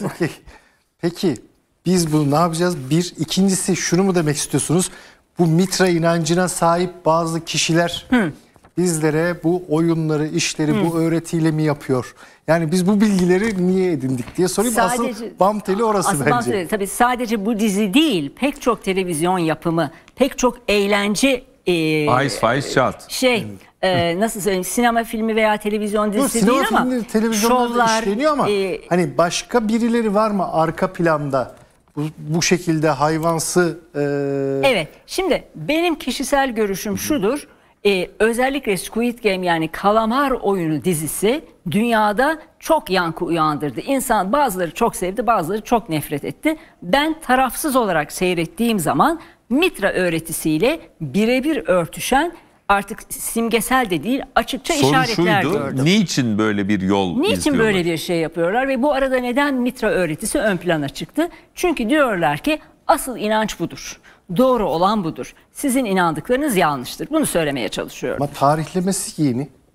Yani milattan tarihlemesi? Mitra'nın. Evet tabii Yani ki. Perslere dayanıyor en çok. Ama ama Git- onun da Anunnaki ile bağlantısı var aslında. Tamam, Kökeni Anunnaki. Sümer'in de Ne eski- demek istiyorsun? Yani şunu demek istiyorum. Öğretiler aslında tek bir kaynaktan çıkıyor. Hepsi tek bir kaynaktan çıkıyor. Fakat bin yıllık, iki bin yıllık süreler içinde isim ve şekil değiştiriyor. Ama Sümer Ee, de öğretiler Anunnaki derken buradaki giyilmiş kıyafetlerin, Evet. maskelerin Anunnaki ile ne ilgisi var? E tabii ki var. Çünkü dikkat edin bakın Anunnaki heykellerinde baktığınız zaman betimlemelerinde yarı insan, yarı hayvan. Bazıları kanatlı, bazılarının başı karga, bazılarının başı kartal. Neden öyle oluyor? Belki de onlar maskeydi. ama şimdi şöyle bir şey var. Sümer de şey geride kaldı. Yani Evet. 5000 yılla Tabii. tarihliyoruz. Mısır hemen hemen aynı Evet. zamanlar. Evet. Mısır'da da var. Ama bu sefer Göbekli Tepe'ye geldiğimizde iş değişiyor. Evet. Bu sefer Anunnaki değişti yani. Aslında o hayır çünkü şöyle bugün onun malzemesini getirmedim başka zaman getiririm. Mitra öğretisinde özellikle Mitra'nın e, boğayı öldürdüğü sahne aslında var ona da gidelim. 34. resme gidelim. Evet var o da var 34. resme gidelim. Şimdi bakınız bu tipik bütün Mitra betimlemelerinde gördüğünüz Tam biz de sahnedir. böyle kurban ederiz Evet. ya Evet. bayramlarda. Mitra- Adak sahnesi. Yani e işte ku- boğayı kurban ediyor. Fakat burada gördüğümüz bakın şurada bir köpek var. Gördünüz mü? Bu Sirius'u işaret Tabii. ediyor. Aynısı Göbekli Tepe'de var hem de fazlasıyla. Boğa Arka burcu, ayağındaki. yani Taurus. Şurada bir akrep var. Akrep boğayı ısırmaya çalışıyor. Akrep takım yıldızı ile ilgili iz düşümler ve bilgiler Göbekli Tepe'de çok fazla var. Taurus zaten boğa takım yıldızı. Yani ve zodyak. Burada gördüğünüz her şey Göbekli Tepe'de de var. O nedenle şunu söylemeye çalışıyorum. Belki Göbekli Tepe'den daha eski uygarlıklara da gideceğiz. Bakın Karahan Tepe çıktı. Bakalım daha neler çıkacak. Karahan Niye şapkalar firik şapkası? Aa, O daha sonradan gelmiş olan bir şey. Ee, Firik şapkası özgürlüğü gösteriyor ve burada da Mitra aslında Aslında bu bize kurtarıcı bir şey. Şirinlerdeki Şirin Baba'nın evet, şapkası Şirin Babanın vesaire. şapkası gibi değil mi Şey, ba- arkadaş? Baba Ama- evet. işte en son baba Firiktir oluyor çünkü, artık. baba oldu çünkü. baba Onun oluyor. dışında da yani bu şekilde fes tarzı e, bütün tasavvuf kollarında bunlar kullanılıyor. Yani oradaki inanç şu beynin e, düşünceyi, enerjiyi bir arada toplayıp tek bir kanaldan iletmek. Evet. Yani Ve her bir tasavvuf e, grubunun farklı şapkaları farklı vardır. şapkaları var ama konik vardır. şekilde Konik gider. Burada da. Evet. konik Şimdi sadece bu kadar Mitra'dan bahsettikten sonra çok özetle kaç dakikamız var? Az vaktimiz kaldı. Mitra kim? Ha Mitra kim? Mitra bir tanrı. Aslında bir enerjinin tanrılaştırılmış hali. Bir inancın insanlaştırılmış hali. Ve Mitra yine diyorum işte güneş tanrısı olarak İran'da ortaya çıkıyor ve kurtarıcı tanrı. Daha doğrusu insanlarla tanrısal boyut arasında aracılık yapan bir sevgi tanrısı, güneş tanrısı. Yani insanların kendilerini e, kolayca teslim ettikleri bir kahraman. Çünkü boğayı kurban ettikten sonra boğanın kanından, boğadan akan kanlardan yıldız sistemleri ve dünyanın doğduğuna inanıyorlar. Bu şekilde bir inanç ama tabii daha ben sonra... biraz farklı düşünüyorum Buyurun, o konuda. buyurun. Evet. Daha önceden insan kurban edildiğini biliyoruz. Net bir şekilde. Tabii ki. Yani buradaki betimlemede insan kurban edilmesinin bırakılması çünkü en e, güzel çocukları, erkek çocukları e, ya en büyükleri ya en güzellerini seçip kurban ediyorlardı. Belli bölgelerde, belli bölgelerde işte bakire kızlar kurban evet. ediliyordu. Onu bitirmiş bir sistem olarak düşünüyorum. Yani e, insan kurban edilmesinin bırakılması, onun yerine insan adak yapılmasının yerine boğanın adak yapılması diye ki bu zaten Doğru. bütün dinlere de girmiştir. Hani tarihsel olarak baktığımızda Tabii. geriden buraya doğru geldiğimizde hep bu şeyler var. Hep bir insan kurban edilmesi ve sonra hayvan kurban edilmesine evet. geçiş var. Ben evet. şu e, değişik coğrafyalarda 86 değişik numarayı bir alalım. Ondan sonra e, vaktimiz çok az kaldı. E, masada devam edelim. Evet. Aa, şimdi tekrar Kapadokya'ya döndük. Kapadokya'da Hazreti İsa'dan önce yaşamış olan bir başka karakter ortaya çıkıyor. Tianalı Apollonius. Tianalı Apollonius. Tiana yani Kapadokya'da e, Niğde. Tabii Niğde. Niğde. Kapadokya'da Niğde, Tiana. Ve bu kişinin aslında gerçek Hazreti İsa olduğu ve ölümsüz belki bir zaman yolcusu olduğu, Hazreti İsa ile ilgili olarak bilinen her şeyi aslında önce onun yaşadığı, doğum tarihi, aldığı öğreti ve şifacılığı ve mucizelerinin Hazreti İsa öncesinde Tialana Apollonius'ta olduğu ve belki de ikisinin aslında aynı kişi olduğu fakat bu kişinin yani Apollonius'un bir şekilde Romalı yöneticilerle ters düştükten sonra öldürüldü. Fakat belki de öldürülmediği bir tapınağa girerek orada ortadan kaybolduğu söyleniliyor. Niğde Kemerhisarlı Tiyanalı Apollonius'tan, Apollonius'tan bahsediyoruz. bahsediyoruz. Hemen hemen şifacılığı, e, diriltme olayı da dahil Ölüleri olmak üzere. Diriltme. Ölüleri diriltme evet. olayı da. Tiyanalı Apollonius'a derler ki nasıl yapıyorsun bu işi? O da der ki benim elimde değil. Ben yalnızca gerekli şeyleri yapıyorum. Asıl yapan ben değilim. İşte o inancına göre işte e, diyor ki Tanrı'nın kendisinin elidir. Benim elim değil. Bir Bunu de, e, Galen'de de görüyoruz. Tabii onları da atlamamamız lazım. Evet bir de 87. resme 87'ye gidersek bu kişinin varlığı ile ilgili de tarihsel geçerliği olan 312 kitapta İsa peygamberin gerçekte Apollonius olduğu yazılı. Evet. Kitaplarda bunu, hala bugün e, böyle gelelim bu, bu konuyu e, rahmetli Aytunç Altındal çok net e, Türkiye ile tanıştırdı ve e, bu konuları anlattı. Sevgili dostlar bakıyorum şimdi son iki dakikamız doğru değil mi yönetmenim? Evet son iki dakikamız böyle bir toparlayacak olursan son kelimelerini alalım bu program için. E, son... Şimdi bir önceki programı yaptık ve Kapadokya'ya gidiyordun. Bu, evet. bu, bunu da yapalım bir Kapadokya'yı da konuşalım dedik. Bakalım e, yolculuğumuz Şimdi, nereye gidecek? Bu sefer Hatay'a gidiyoruz. Evet. Hatay ile ilgili de önemli araştırmalarım var. Önemli bulgularım olacak. Döndükten sonra bir de Hatay Serkan programı Tekin, yaparız. Serkan Tekin Ahit Sandığı'nın Hatay'da olduğunu söylemişti bir pro Bakalım. bu programımızda. Biz de bir şeyler evet. arayacağız. Ben diyorum ki sevgili dostlar bize anlatılan tarih hakikaten gerçekleri yansıtmıyor. Aslında arka tarafta çok bambaşka bir tarih var. Evet. Yani.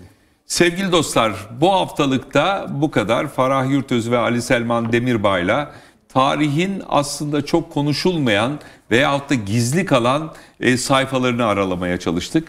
Bu haftanın e, sözü de şöyle olsun. Sırdı konumuz biliyorsunuz. Senin sırrını unutma ki senden başka kimse saklayamaz. Bu haftalıkta bu kadar. Bir dahaki hafta aynı saatte görüşmek üzere. Sağlıcakla kalın.